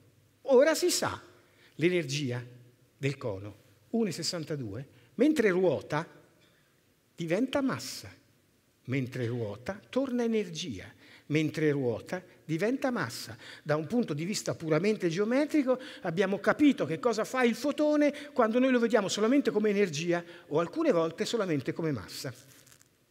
E quando lo vediamo solamente come massa il fotone? Semplice. Come facciamo con la monetina tirata per aria? Aspettiamo che caschi per terra, che si ferma. Come facciamo a fermare un fotone? Lo mettiamo a 273 gradi sotto zero e dai che si ferma. Con quel freddo a 273 gradi sotto zero l'energia è zero, quindi il fotone si può muovere, fermo lì. Bene, quando è fermo il fotone sapete cosa fa? Diventa massivo, cioè si può pesare. Hai capito che cos'è un fonone? Il fonone è un fotone freddo che tu sei riuscito a fermare. Ci sono un sacco di lavori scientifici che parlano di questo, quindi è già stato scritto tutto, noi non dobbiamo immaginarci nulla. Ecco, guardate, eh, voglio tornare un attimo indietro, eh, guardate quello che succede sostanzialmente eh, con eh, questi ehm, mh, lavori. Eh, quello che possiamo vedere è che eh, la teoria della relatività deve essere rivista. In questi lavori scientifici che vi ho fatto velocemente vedere, eh, si fa vedere sostanzialmente come eh, la, ehm, il, la, la, il teorema di Pitagora può essere sostanzialmente applicato alle cose che ho detto. Non me ne sono inventate io, l'ho presa dalla letteratura. Io non ho inventato niente. Eh, questo per dirvelo, eh, perché mh, mm, qualcuno può pensare il contrario. E sostanzialmente bisogna, bisogna in qualche modo eh, renderci conto che la massa del fotone la sua energia si può comprendere, come in questo articolo si dice, come si interconvertano tra di loro, perché la fisica l'ha detto, ma non l'ha capito e non lo può capire perché non ha il disegno di un fotone. Questo ragazzetto qui, poverino, mi sembra giovane giovane, è il povero Heisenberg. Heisenberg ha detto, premio Nobel, che io non sto qui, io ho la probabilità di credere di trovarmi qui. E questo è soprattutto vero per le cose piccole.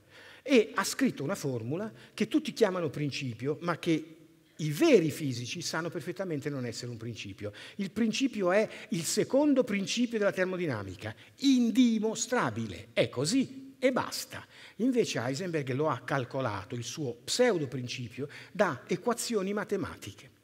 Lui dice sostanzialmente che delta x per delta p, cioè la l'errore che faccio nel misurare una distanza per l'errore che faccio per misurare un impulso è uguale alla costante di Planck diviso 2. Oppure l'errore che faccio nel misurare l'energia di una cosa quando aveva quell'energia, ecco, io faccio un errore che è sempre uguale alla costante di Planck diviso 2. Poi finalmente viene Compton. Compton è uno che ha scritto quella roba là sopra, che ha detto, ora ve lo dico con le parole mie, perché lui non l'ha detto così perché l'interpretazione della formula è quella che conta, non la formula.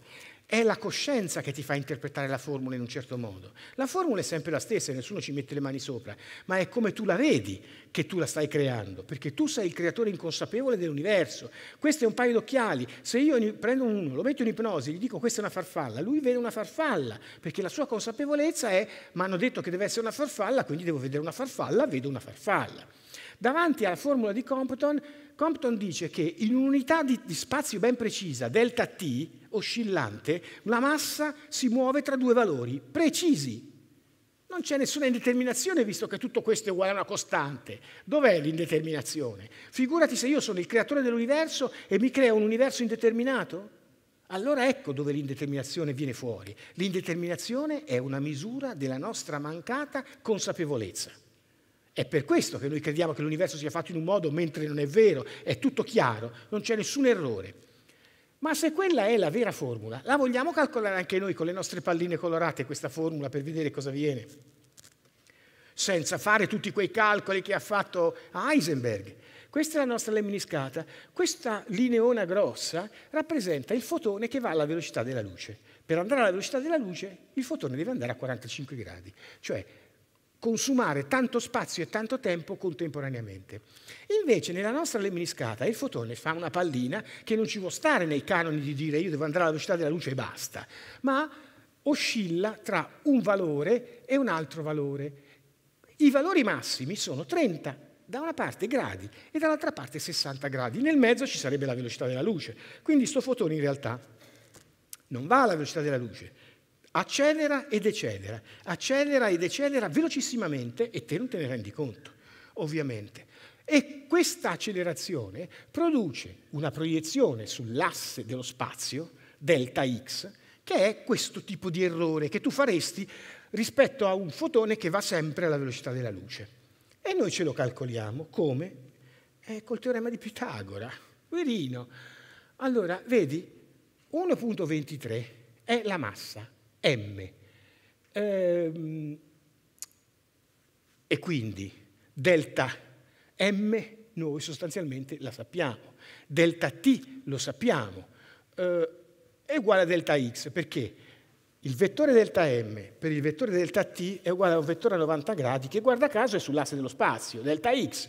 Si può scrivere così. Quando ti vai a fare i semplici conti che vengono fuori da, da, da, da Pitagora, si scopre che delta m per delta t per il seno di 90 gradi che è uguale a 1, te non te ne accorgi, delta m per delta t è sempre uguale a delta m per delta t. Delta x devo fare la proiezione della costante di Planck 1.054 per un angolo che è il seno di alfa, o meglio il seno di delta alfa, tra 30 e 60 gradi. Beh, a questo punto si fanno i calcoletti e uno cosa vede? Che il seno di alfa è il seno di 30 gradi. Il seno di 30 gradi è uguale a 0,5, cioè un mezzo. Cioè delta m per delta t è uguale a costante di Planck diviso 2. Fine. Ci siamo rifatti l'equazione di Compton con le palline colorate. Non è più semplice così. Ecco. Ci abbiamo un problema. lo sapete che nessuno sa che cos'è la forza di gravità. Voi credevate di saperlo. Le mele cascano per terra, Newton. Wheeler, non c'è nessuna ragione per cui le mele debbano cadere sulla terra. Prima frase del libro Gravitation. Ah, mettetevi d'accordo, no? Che cosa dice la scienza ufficiale? La forza di gravità è una forza che si calcola così, si prende la massa della Terra, si moltiplica per la massa della mela e si divide per il quadrato della distanza tra la Terra e la mela e poi si moltiplica tutto per un numero, G, che nessuno sa che cos'è, però se non ci metti quel numero i conti non tornano. Questo è il vero significato di quella formula. E G la chiamo accelerazione di gravità universale, costante universale di gravità. Ma da dove viene? Ma che cos'è? Ma perché? Noi sappiamo una cosa, che l'accelerazione, vecchi ricordi delle scuole, una forza è uguale a una massa per un'accelerazione. L'accelerazione cos'è? Chilometri al secondo quadrato. Quindi, secondo quadrato, c'è una doppia variazione della velocità, del tempo. Forza è uguale a una massa per un'accelerazione. Un bel giorno, mentre Einstein si stava facendo i suoi calcoletti a casa sua, scrivendo sui fogliettini, passa di lì la prima moglie, che era una matematica, e guarda, dice cosa fai Albert? E vede su un fogliettino che lui aveva scritto questa formuletta, F uguale a m delta x quadro diviso delta 2t, che è la derivata del, di x, cioè dello spazio, sul tempo, cioè l'accelerazione. In matematica è questo. Dice, ah, la derivata doppia, la derivata seconda. Ah, la derivata seconda, quella che nello studio di funzione rappresenta come una funzione può essere scritta, o così, oppure così. Se è così, la derivata ha un segno, se è così è derivata a un altro segno, quindi è la piegatura della funzione. Einstein si sono illuminati gli occhi.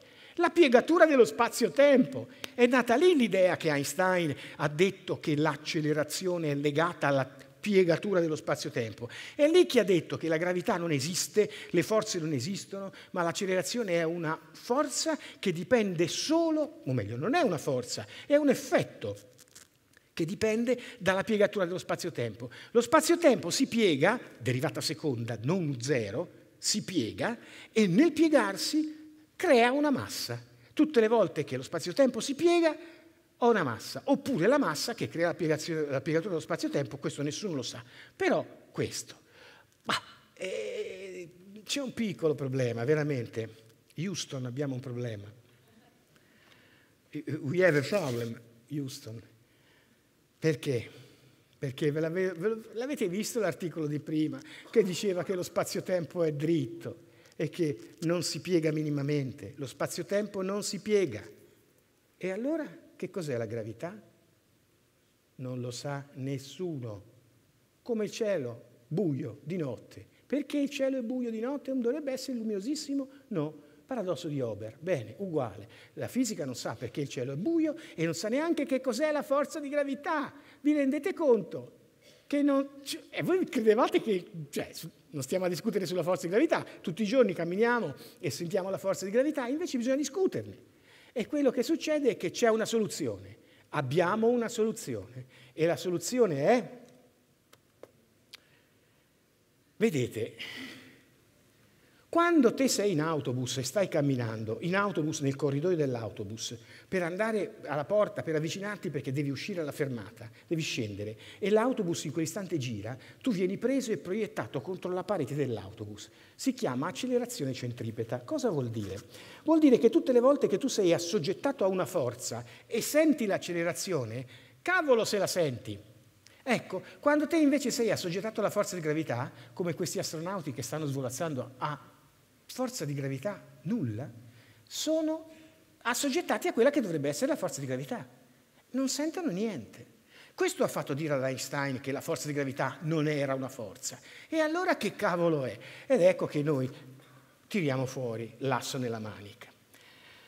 La forza entropica del modello olografico. Nel modello olografico, nell'universo olografico e frattalico, la forza entropica rappresenta la gravità. Pensate, la gravità è una entropia. Senza che vi leggiate tutto quello che sta scritto qui, che se lo leggono quelli che dicono che io sparo cazzate, mm, oppure quelli che vogliono approfondire, Vi dico semplicemente questo. Noi abbiamo uno schermo olografico, quel quadrettino lì, quel rettangolino. Quello schermo olografico è, è, ha una sua temperatura e ha una sua termodinamica, cioè ha una sua informazione, ha una sua entropia. Un punto M che si sta avvicinando a questo schermo olografico con un'accelerazione A ha una sua temperatura e la sua temperatura influisce sulla temperatura dello schermo olografico, cioè l'accelerazione è una proprietà che è in grado di modificare l'entropia del sistema. Questa è la formula che Verlinde dà nei suoi lavori scientifici. La forza moltiplicata per delta x, la distanza del punto dallo schermo olografico, è uguale a una temperatura per il delta S, cioè per l'entropia del sistema. È una formula molto semplice. Mi fai mettere i numeri delle video dentro? Allora, eh, 273.15 è la temperatura assoluta, la massa sappiamo che è 1,23, il delta S è 21. 21, la letteratura del perché 21 la trovate qui, però 21 è un, un numero che viene fuori dall'area dall di Planck, quindi è una cosa che si può calcolare e viene fuori quel numero lì. Fidatevi. Viene fuori una cosa strana, che l'accelerazione è uguale a 360 per 8. 360 volte gradi 8 come gli ottanti dell'universo? Ma la cosa più strana è che la forza di attrazione è uguale a 13,49 per pi greco, il solito numero. Cosa vuol dire questo? Vuol dire che 13,49 è quel 13,49 di prima? Vuol dire che è quella frequenza? Una forza è legata a una frequenza elevata al quadrato? Cioè, e questa eh, incide sull'accelerazione di gravità? Vuol dire che se io prendo una frequenza x, la elevo a pi greco, la mando addosso a qualcosa, con una certa forza questa qualcosa si solleva? Perché vuol dire questo, eh? Questa formuletta qui. È strana questa, ma da dove viene sto cavolo di 1349 che ci sta perseguitando? Perché c'è una formula 13,49, ma comunque una frequenza elevata alla pi greco è uguale a un angolo per pi greco al quadrato. Quando alfa è 360 gradi, f di x è esattamente uguale a 13,49, 55, 8, che è esattamente il La zero dell'ipotetica eh, tastiera di un pianoforte di Bollani un pochino più lunga a destra, a sinistra. Ma tutto questo, se io metto gli opportuni numeri, e cioè impongo a n, che è, che cos'è n? È l'ottava, l'ottava di un pianoforte. Impongo a n di essere 5, f di x viene uguale a 431.8588, che è esattamente il numero che corrisponde all'A quinto del pianoforte di Bollani. Cioè la forza di gravità ha a che fare col pianoforte? Che strano, è una cosa veramente strana, ma quello che si capisce è che noi ora abbiamo una formula. 13,49, riprendiamola un po' da prima, che è uguale alla costante di struttura fine dell'universo, 137, diviso 2 pi greco, sezione aurea, che io posso scrivere anche come l'ho scritta qui sotto, perché è la stessa cosa. Perché la sezione eh, alfa, la meno 1, che è la costante di struttura fine dell'universo, è uguale alla velocità della luce c moltiplicato a questa cosa con n, dove n è greco diviso 10, cioè un numero che contiene pi greco. Allora, c diviso, moltiplicato questo strano numero, diviso come al solito 2 pi greco φ, è uguale a 13,49. Ma sapete, questa, al di là di questi conti, cosa vuol dire questo? Che questa formula è la stessa, identica formula di una sfera cava dentro la quale viaggiano dei fotoni alla velocità della luce e fanno vibrare questa sfera a 13,49. In altre parole, l'universo è una sfera cava in cui dentro i fotoni la fanno vibrare come una bottiglia di Helmholtz, cioè come un, una bottiglia di birra in cui tu soffi dentro fu, fu, fu, e senti questo rumore, e questo rumore che è la vibrazione della sfera cava vibra a 13,49. Se l'universo è una sfera cava riempita di fotoni, questi fanno vibrare la sfera in risonanza a 13,49. Perché il pianoforte di Bollani deve vibrare alla stessa frequenza dell'universo?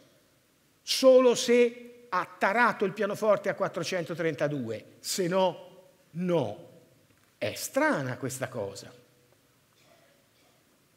E così vediamo che il numero 1349 è da mettersi in relazione, a, che è una frequenza, la frequenza del pianoforte di Bollani, alla massa del fotone, all'accelerazione del fotone, alla eh, sezione aurea, a pi greco, a 2, che non è una costante qualsiasi, 2 è la rappresentazione della dualità dell'universo, eh, è, è, è, uguale mh, alla eh, ehm, velocità della luce, è in relazione alla velocità della luce, è in relazione a pi greco, è in relazione a 431.85, che è il vero e proprio là di cui si sta parlando oggi.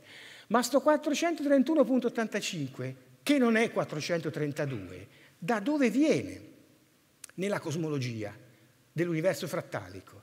Se l'universo è un frattale, il frattale è un ordine di complessità che si chiama D. Lo sapete come si calcola? Logaritmo in questo caso perché io utilizzo in base, in base 2, ecco perché nessuno si è mai accorto di tutto ciò, perché nessuno ha usato i logaritmi in base 2, ma tutti i logaritmi in base 10 o di Nepero. Se te usi i logaritmi in base 2 vengono fuori questi numeri. Quindi, ordine di complessità dell'universo uguale. Logaritmo di numero delle celle, 8 ottanti, 4 di sopra e 4 di sotto, diviso il logaritmo della lunghezza di, una, di un cubo, che è 1,618,033, eh, cioè la costante della la, la sezione aurea. O il numero non vi viene fuori 4,318. Sapete cosa vuol dire? Che questo frattale in cui viviamo ha un ordine di complessità uguale alla frequenza sostanzialmente del pianoforte, dell'A del pianoforte di Bollani. Non sarà questo il motivo per cui tutto ciò che si muove a 431,8 e non 432, quindi 431,8.588 Hz ci sembra migliore. Noi non stiamo forse riconoscendo in questa frequenza in questo aspetto della realtà proprio la realtà con cui l'universo è stato fatto. Non stiamo inconsapevolmente riconoscendo la nostra frequenza. Noi abbiamo creato l'universo a 431.8, è per quello che siamo giunti alla fine partendo dall'inizio della musica, quando l'uomo della pietra sbatteva una pietra su una pelle d'animale, e ha tentato di fare in modo che il suono che venisse fuori fosse un, un suono che era un multiplo di 431.8.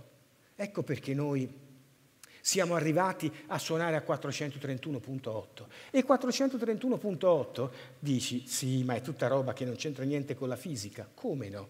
Guardate in alcuni lavori di fisica quantistica che mi sono permesso di leggere di che cosa succede. 2 per pi greco moltiplicato ehm, la costante di Planck al quadrato diviso la sezione aurea 4,31.8 per 10 alla 68 oppure là sopra eh, ehm, costante di Planck per velocità della luce per temperatura assoluta diviso 2 431.8 per 10 alla 24 e elevato alla meno pi greco che è uguale a i per i al quadrato 4,32 eccetera, eccetera. Quello lì si è sciaccagnato un pochino l'interconversione tra Word e, e iOS, che sono i sistemi operativi utilizzati. Guardate in alto una cosa importante. Che cos'è il 432? Perché il 432 viene sempre fuori? Perché il 432 ha a che fare con quella che era la primordiale sezione aurea, non 1,618 e 033, ma 1,62 ma ricordatevi che 432 è uguale a 360 che moltiplica pi greco diviso il quadrato della sezione aurea. Questa è l'unica equazione che mette insieme, for the first time, per la prima volta, pi greco e la sezione aurea, fino alla miliardesima cifra dopo la virgola, due numeri irrazionali. Quindi tutti i numeri di, di, di, di, delle Videon sono numeri di questo tipo. Ehm, e la sezione aurea entra oltre il 432 in questa cosa, perché come potete vedere eh, la frequenza dell'A diviso la frequenza del Do, quinto, La diviso Do, dà esattamente 1,61,8 per elevato alla 1.08. 1.08 l'avevamo già visto. È 108, è questo angolo qui. Verrà sempre fuori questo numero, sempre fuori.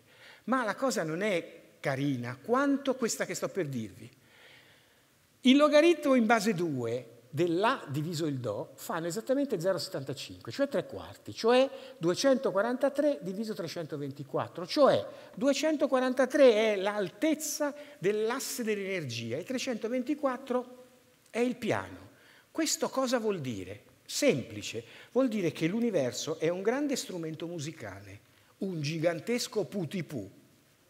C'hai presente il putipu, che è un, una, una pelle eh, una specie di tamburello e nel mezzo c'è un, una cosa che ti stai sfregando, l'asse dell'energia si muove in continuazione e fa vibrare lo spazio-tempo in questo modo. L'universo è un gigantesco putipù che vibra a 432, o meglio a 1349, che poi è la frequenza fondamentale, il La primo, il, il La che più basso non ce n'è.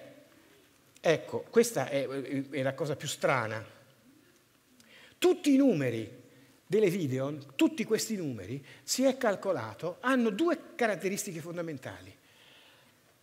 Esiste un seno, un coseno o un prodotto di seni e coseni che eh, rispetto a questi numeri dà sempre, esattamente fino alla decimiliardesima cifra dopo la virgola, un multiplo o un sottomultiplo della sezione aurea. Non se ne era mai accorto nessuno. Oppure le radici tredicesime di questi numeri danno chiaramente numeri, sono stati un po' appiccicati qui perché l'interconversione dei, dei file non era perfetta, costanti come pi greco, come la sezione aurea, come E, il numero di Nepero e così via. Ciò dimostra, dimostra che l'universo evideonico è fatto su questi numeri. È fatto su pi greco, è fatto sulla sezione aurea, è fatto sulla costante di Planck. E qui c'è una cosa da dire. Ho dovuto fare un nuovo teorema, mi dispiace per i matematici che non se ne erano mai accorti prima, qui c'è la letteratura che dice che non se ne sono mai accorti. Un nuovo banale teorema. Esiste per ogni numero intero divisibile per 9 che non termini con 0, esiste, che rappresenta un angolo, esiste un algoritmo trigonometrico che ha come risultato un multiplo della sezione aurea. Facciamo un esempio qualsiasi, ne possiamo scegliere miliardi il numero 111, 111, 111. Ne fai il coseno, ottieni esattamente sezione aurea diviso 2. Facile, un numero qualsiasi. Non se n'era mai accorto nessuno. Che cosa vuol dire? Vuol dire che l'Evideon è costruito sui numeri che sono costruiti sul 9 sostanzialmente e tutti questi numeri hanno sempre segni e coseni in, in cui non è prevedibile quale sia la formula, ma tu sai che esiste un seno moltiplicato per un coseno, un coseno al quadrato, uno diviso seno, un qualcosa che ti dà esattamente la sezione aurea. E quindi ci abbiamo fatto un teoremino nuovo. Tanti anni fa Bollani, tanti anni fa, no, in realtà un paio d'anni, mi chiese una cosa, una volta si parlava insieme e mi disse, ma te cosa ne pensi della musica del, delle, delle, delle, delle sfere? La musica delle sfere. E, e io lì non mi ricordo cosa gli dissi, probabilmente fui molto vago, però mi sono andato a informare. Allora, ne ha parlato per la prima volta Plato, eh, in realtà Pitagora e poi Platone, cioè i pianeti che girano attorno al sistema solare girano con un'armonia particolare? Beh, cosa ne pensa la scienza? Nel Settecento due signori che si chiamavano Titius e Bod hanno scoperto una formula che non viene da nessuna parte, ci hanno messo dei numeri a caso, con la S, eh? Due, così proprio, e hanno scoperto una formula che permetteva di prevedere a quale posizione del pianeta rispetto al Sole c'era il sistema solare, a quale posizione e eh, corrispondeva a una distanza precisa che quel pianeta doveva avere. Il numero 1 doveva stare a questa distanza, il numero 3 a quest'altra distanza e questa formula ha permesso di scoprire alla NASA, opportunamente modificata da un, da un, da un fisico che si chiama Nottale, che non posso dire un premio Nobel per la matematica perché per la matematica non esistono i premi Nobel, ma uno dei più grandi matematici del mondo, che tra parentesi crede nella realtà frattalica dell'universo, Nottale, francese, eh, si sono potuti trovare dei pianeti che non erano stati previsti. Tanto tempo fa Tilius Bode hanno scoperto, con questo sistema, hanno, hanno, permesso di scoprire pianeti che non erano ancora stati scoperti. E la NASA usa questa formula per scoprire pianeti extrasolari. Io che cosa ho fatto? Mi sono rimesso a fare sti calcoli per vedere se mi tornavano anche a me e ho scoperto, vedete quella legge matematica, quella funzione matematica con tutti i quadrettini che sono tutti gli oggetti che sono più o meno attorno al Sole.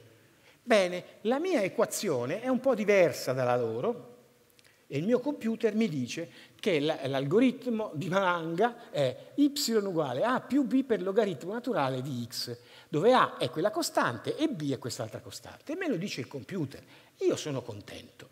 In realtà ho trasformato questa equazione in un'equazione con i logaritmi in base 2, perché a me piacciono i logaritmi in base 2. Quindi la prima equazione a cui corrisponde il segno giallo corrisponde dopo vari passaggi all'ultima equazione che è quella col segno blu, che voi non vedete perché è sovrapposta a quella col segno giallo. Quindi sono la stessa equazione. Beh, e questa equazione cosa dice? Ci sono dei numeri importanti dentro.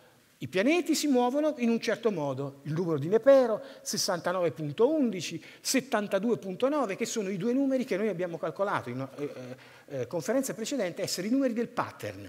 Sapete, quelli con cui con questo stampino è costruito l'universo.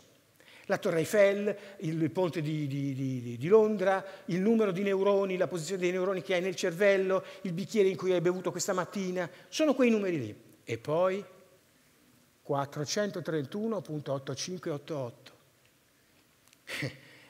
Il La di Bollani, il quinto, lì, in quel pianoforte lì, a 432, cioè 431.8588 per essere precisi, quando tu lo suoni, suona in armonia con i pianeti che girano intorno al Sole.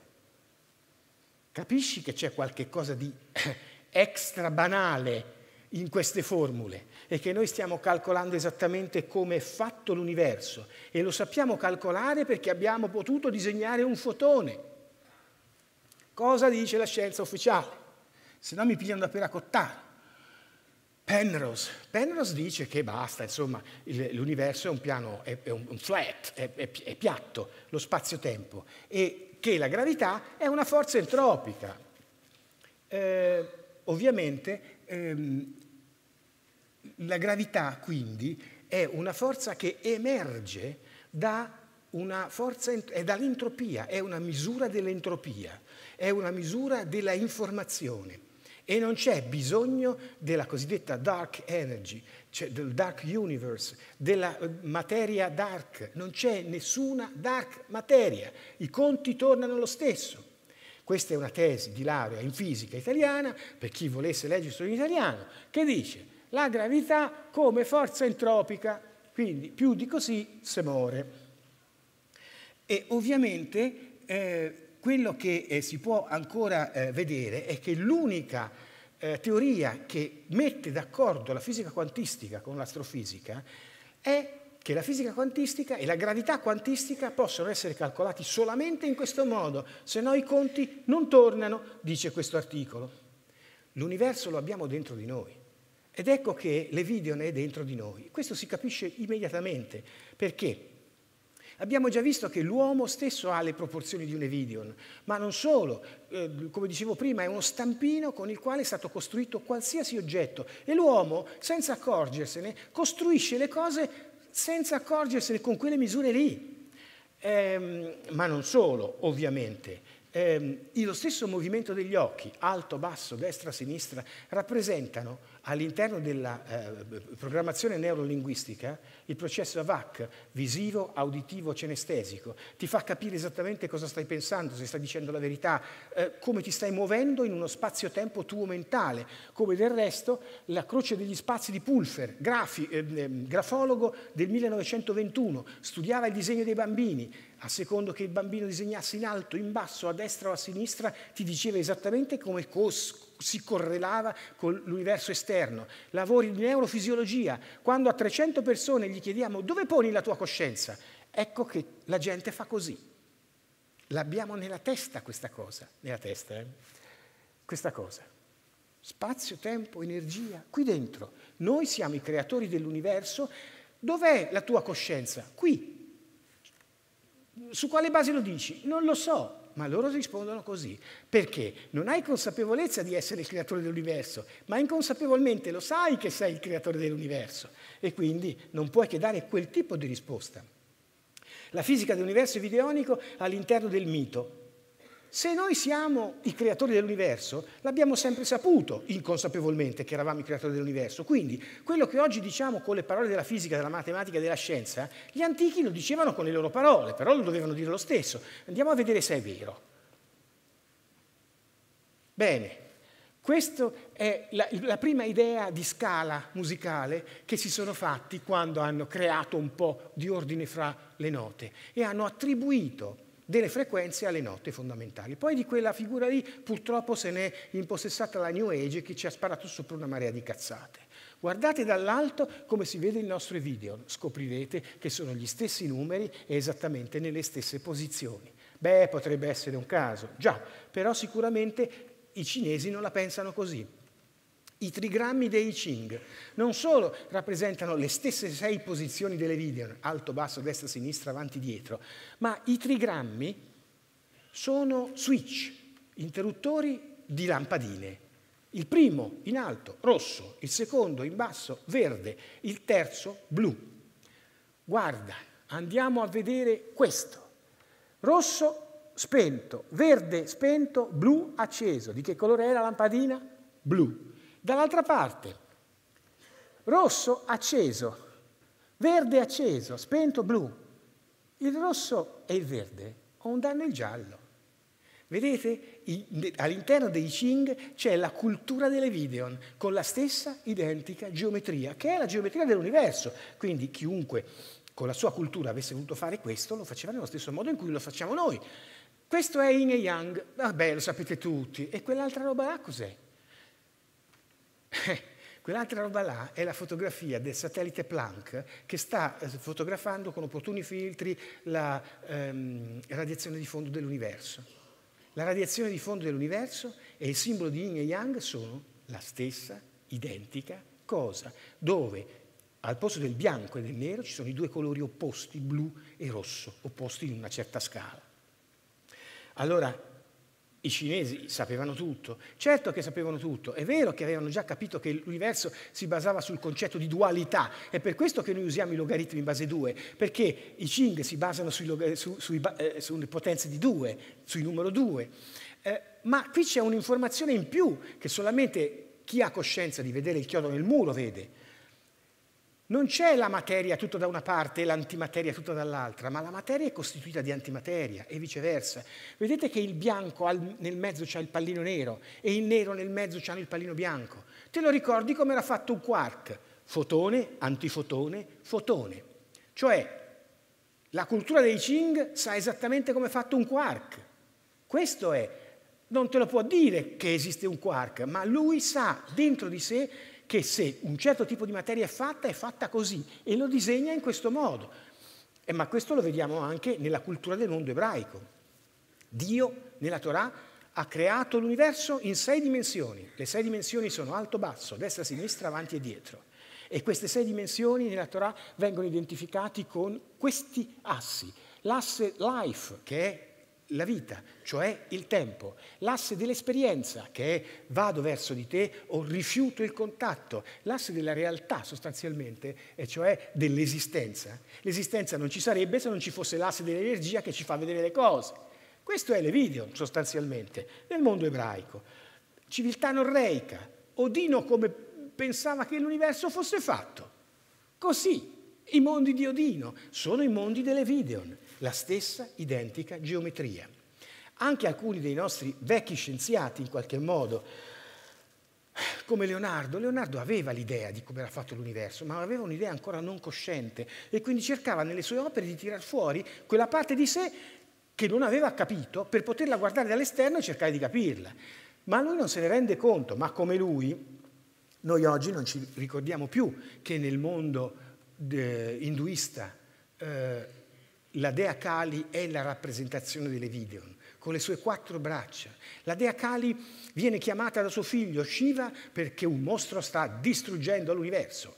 Eh, la dea Kali è l'unica in grado di poter bere le gocce del mostro colpito dalla spada della dea Kali prima che cadano per terra, perché le gocce che cadono per terra si trasformano in altri mostri. In altre parole, la Dea Kali rappresenta quella cosa che metterà ordine tra materia e antimateria.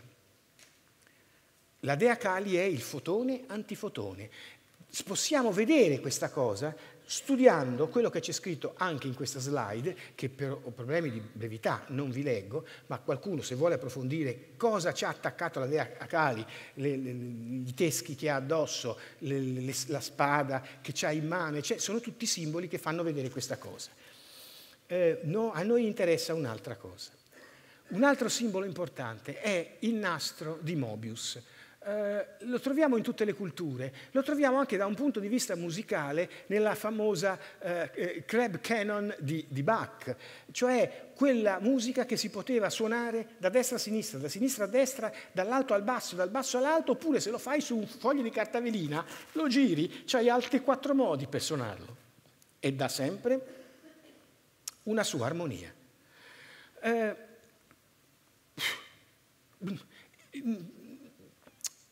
questo strano simbolo noi lo ritroviamo nel mondo sanscrito nel numero 108.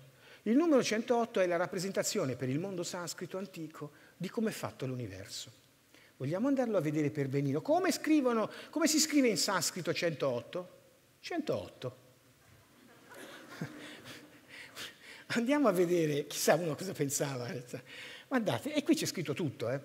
Uno, uno è cosiddetto bindu, il simbolo della condizione germinale, è il punto dal quale inizia la creazione e si sviluppa la molteplicità, lo spazio quindi. Lo zero è il sunyata, cioè la qualità di vuoto, il vuoto, quello stato da raggiungere se ci si vuole liberare del samsara, il ciclo perenne del divenire. Si tratta del tempo.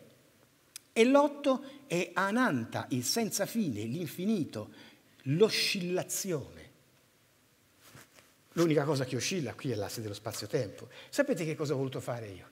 Ho preso questa roba e l'ho messa in formula matematica. Ti faccio vedere cosa viene fuori. Ci sono tre equazioni. L'equazione del campo, eh, non c'è più. Eh, c'è sempre il solito, aiuto, c'è sempre il solito problema di prima. Eh, ora vedo, appena mi ripristinano. Eh, grazie. Eh, eccolo. Contatto. Allora, equazione dell'energia, cioè l'equazione dell'energia, che è quella là sopra in alto, vedete? Seno di φ per coseno di φ elevata alla 0,5, dà origine a una lemniscata. L'equazione del campo tempo dà origine a questo cerchio e l'equazione del campo elettrico dà origine a, questo, a questa retta, 1, 0, 8. Ma che strano, con i numeri delle video, dice sarà un caso. Non è un caso, perché vedete questa retta qua? Questa retta qua incontra in questo punto, in questo punto e in quell'altro punto in alto le tre equazioni di spazio, tempo ed energia. In questi punti l'angolo φ per tutte e tre le equazioni hanno, ha lo stesso valore, 3, 4, 2, guarda, nata volta, come dicono a Napoli, 3, 4, 2. Ma la cosa non è importante questa, è che in tutti questi tre punti, nel primo, nel secondo e nel terzo, la derivata prima di queste equazioni, cioè come sta variando l'equazione nel tempo, è uguale esattamente per tutte e tre le equazioni a pi greco. Sapete questa eh, eh, retta che equazione ha? La vedete in alto? Eh, in alto lassù, 1,08 per x più 0,72, 1 e 0,8, lo stesso identico numero che rappresenta il 108, cioè l'angolo auro del, del, ehm, eh, del, del, pentagono. Noi siamo in questo universo e occupiamo un ottante. Questo universo è fatto ovviamente eh, eh da, con un frattale, questo frattale ha l'ordine di complessità che è uguale a 31,8. Sì, questa è una visione un po' grossolana dell'universo, perché in realtà l'universo dovrebbe essere visto come una sfera che nella sua evoluzione, ed è per questo che sono d'accordo con Sheldrake che dice che le costanti dell'universo cambiano, si trasforma in un toroide. Questo toroide poi tenderebbe ad allargarsi, no? ma eh, ci sono pieni il mondo scientifico è pieno, eh, astronomico, di, di scienza dell'astronomia, che dice che l'universo può essere visto come un toroide. Eh? Bene, però il toroide ha un problema. Il toroide ha due, due, due superfici, una esterna e una interna. No, non va bene, perché la superficie del nostro universo deve essere unitaria, ci deve essere una superficie sola, se no le entropie sono due, perché l'entropia corrisponde alle superfici, e quindi se ci sono due superfici è come se avessimo due universi, non va bene. Allora bisogna fare in modo che questa cosa abbia una superficie sola. Per fare questo trasformiamo il nostro toroide, lo schiacciamo in un nastro di Mobius, lo vedete? Eccolo lì da dove viene fuori il nastro di Mobius. Si schiaccia il toroide e matematicamente viene fuori questa cosa. Allora ci accontentiamo? No, perché quello che viene fuori, il nastro di Mobius, è vero che ha una sola superficie, è vero che ha un solo lato, però di nastri di Mobius ne esistono due uno l'immagine speculare dell'altro. Sapete cosa vuol dire? Che esisterebbero due universi, uno con, le, con, la, con, la, materia da una parte e uno con l'antimateria dall'altra. Invece noi sappiamo, perché ce lo dicono i Ching, ma ce lo dice anche l'Evideon, ma ce lo dicono anche i lavori scientifici, che la materia e l'antimateria, la massa e l'antimassa sono mescolati tra di loro. C'è un modo per sistemare questa cosa? Sì, togliere il buco nel mezzo del nastro di Mobius. Se togli il buco nel mezzo, il nastro di Mobius assume quella formula. Dove torna? Il famoso doppio cono, che ora vediamo esattamente perché è un doppio cono, conoide, e questa che è la vera struttura del nostro universo. L'universo è solo una superficie, è solo fatto così. Ogni punto di questa superficie ti rappresenta uno spazio, un tempo e un'energia. Quindi sono nove coordinate schiacciate sullo spazio. Nove, pensate, però noi le possiamo vedere ora. L'universo è finito o infinito? L'universo è finito, lo vedete, è un pezzo, è una roba, è così, è fatto così e basta. Questa roba qui è, è, è lunga 1,62, non è che è lungo un miliardo, no? Allora perché è infinito? Perché l'universo fatto così prevede che se tu cammini e vai in qualsiasi direzione non raggiungerai mai la fine dell'universo. È come una stanza in cui tu uscendo da questa parete rientri nella parete opposta. Questo è questo significato. L'universo è infinito per noi che ci stiamo dentro, ma totalmente finito per uno che ipoteticamente potesse vederlo da fuori. Ma ciò non è possibile perché il fuori non c'è. Ed ecco che possiamo fare finalmente un ulteriore passo avanti. La fisica quantistica cosa dice? Che la sezione aurea e la fisica delle particelle sono in relazioni tra di loro, lavori scientifici. Um, mm, questo signore dice sostanzialmente che golden ratio, cioè la sezione aurea, e la quantomeccanica sono in relazione tra di loro, un altro lavoro.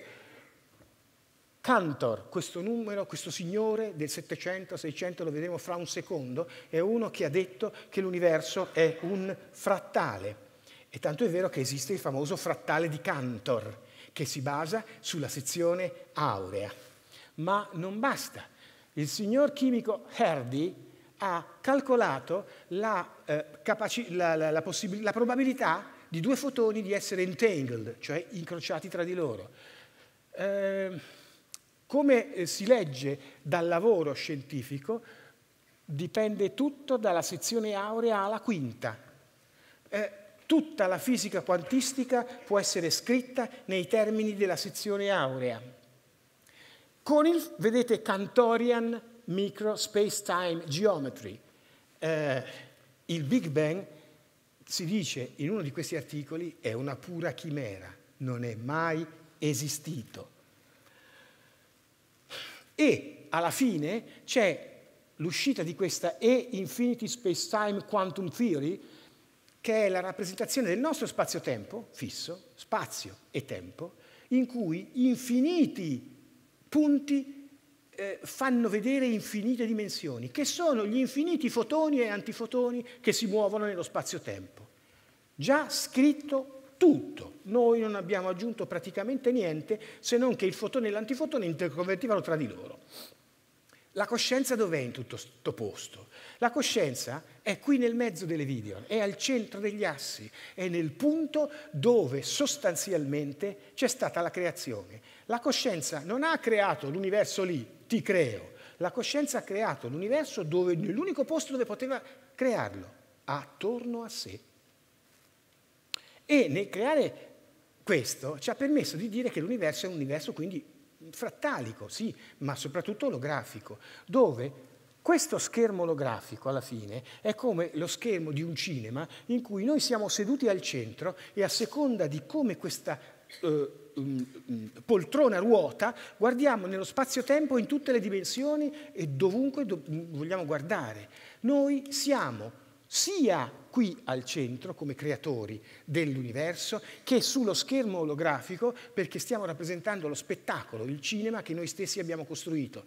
Spettatori, eh, registi, macchina cinematografica, sala cinematografica, siamo tutto noi.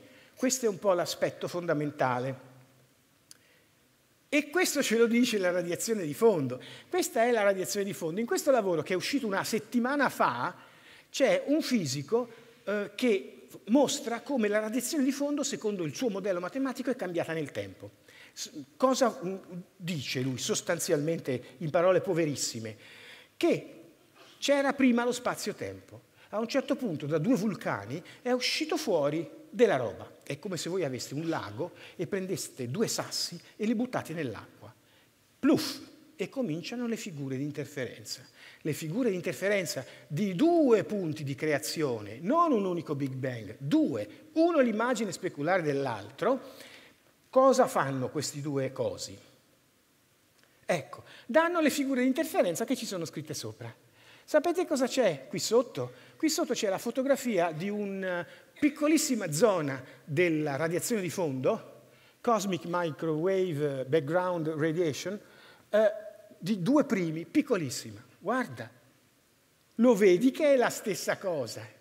Lo vedi che la radiazione di fondo, cioè i punti blu dove c'è più calore, poco, e i punti neri dove c'è meno calore, zero sostanzialmente, si, sono, fanno parte di una figura di interferenza che è uguale a quella là sopra? Ecco che l'universo è nato quindi sostanzialmente, secondo la nostra ipotesi, da due punti. Ecco perché noi viviamo un universo duale, ecco perché ci sono i buoni e i cattivi, ecco perché vediamo il pieno e il vuoto, dove in realtà non c'è niente, perché il pieno e il vuoto sono la stessa cosa, ma sostanzialmente l'universo non è infinito e questo l'abbiamo visto, l'universo è finito. Lo dice anche questo eh, professore eh, dell'Università di Ulm, Frank eh, eh Steiner, ehm, eh, l'Università di Ulm in Germania, che dice che l'universo è come un grande strumento musicale. Grande, ma non infinito. Perché? Perché nelle misure della radiazione di fondo che lui ha studiato non ci sono le lunghezze d'onda lunghe, ci sono solo quelle abbastanza corte sostanzialmente. E questo cosa vuol dire? Vuol dire che se l'universo è uno strumento musicale e non ci sono le vibrazioni lunghe, vuol dire che lo strumento musicale ha una cassa armonica corta, perché vibra solo alle lunghezze d'onda che sono uguali alla lunghezza dello strumento. Ci sono le lunghezze d'onda lunghissime? No, quindi lo strumento è corto. Lo strumento è sostanzialmente limitato. Tutto questo, Nature, eh, non è che il giornale di Topolino, eh, tutto questo se il fotone ha una massa, presenta una massa. Ma se tutto questo dipende dal fatto che il fotone presenta una massa, ahimè il fotone ha una vita, cioè nasce e muore. Perché? Se il fotone non ha massa, la vita del fotone è infinita, dicono i fisici. Ma se c'è una massa di 10 alla meno 54 kg, ahimè, il fotone ha una vita. Una vita che dice questo articolo lassù in cima, 10 alla 15 anni. Sapete che meraviglia? Finisce sto spettacolo, poi si torna a casa, non è che stiamo qui a romperci le palle in eterno. 10 alla 15. Di tutto questo, quanto abbiamo già sofferto? 13,8 per 10 alla 9 anni. Cioè, tanta roba, eh? Però che cosa vuol dire questo? Da un punto di vista coscienziale. Vedete che le formule hanno un significato coscienziale, con, con la coscienza vanno viste le formule, perché se no le formule da sole non significano una mazza. Il significato coscienziale è questo. Prima non avevamo la coscienza di capire come avevamo costruito l'universo e quindi ovviamente la creazione che noi avevamo fatto ci appariva confusa e non ne vedevamo la fine. Nell'istante in cui cominciamo a vedere e a capire che l'universo ha una fine, nello spazio, nel tempo e nell'energia, questo vuol dire che cominciamo a vedere i limiti della nostra creazione. Questo vuol dire che cominciamo ad acquisire la consapevolezza di noi stessi. L'aver creato la possibilità di scoprire, di scovare dei limiti dell'universo ci fa comprendere che la nostra consapevolezza sta aumentando, cioè che siamo nella giusta direzione. Però, meno male, la coscienza ci ha dato una virtual timeline per acquisire consapevolezza, cioè un certo periodo di tempo, 10 a 15 anni, per cui o così o pomì, cioè in questo periodo dobbiamo acquisire coscienza. È quello che stiamo facendo. No? Sostanzialmente ehm, l'universo dura da 13 a 82 anni, quindi abbiamo ancora circa, su 10 a 15 anni, 10 alla sesta anni anni per, per, insomma, per, cercare di capire quello che ancora non abbiamo capito. Vedete la figura di questo signore?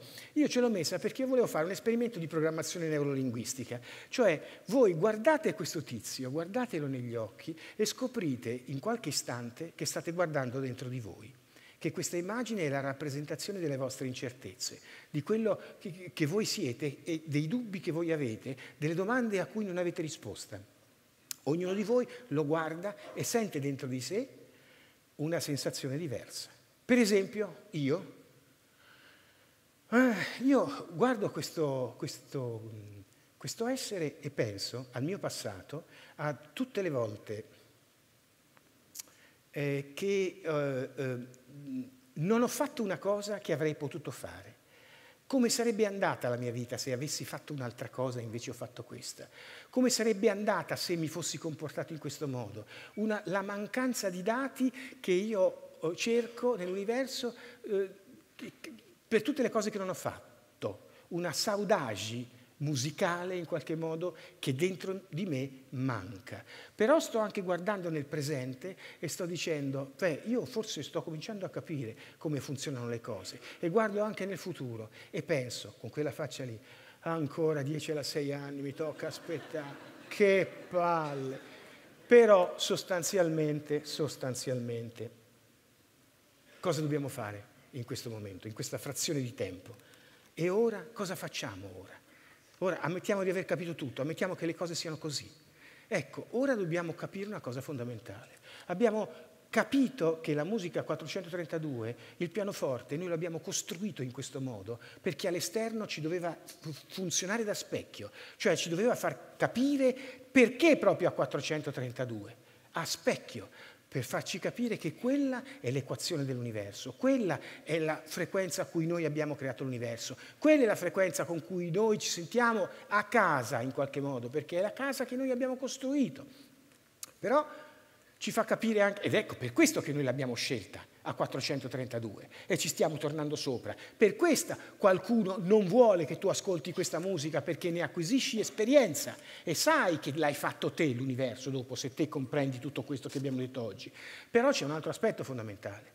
Noi abbiamo costruito l'universo, quindi noi siamo i musicisti di un immenso strumento musicale che è l'universo e lo eh, suoniamo tutti i giorni, andando a scuola, in cinema, a teatro, in ascensore, dormendo, russando, e questo è uno strumento musicale incredibile, almeno per me, ma noi tutti insieme, inconsapevolmente, fino a questo istante, fino a quattro secondi fa, eravamo inconsapevoli che noi, come Bollani, sta suonando il suo strumento musicale, che è la vita.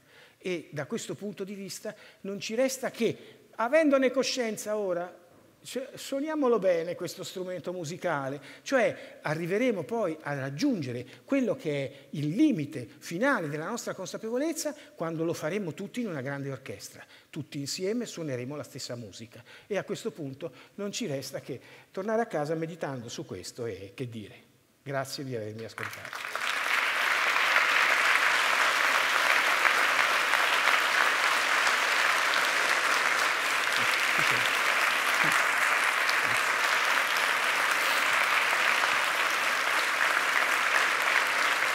Evviva!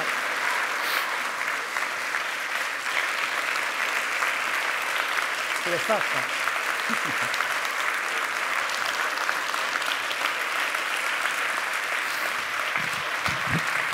Grazie Corrado Malanga.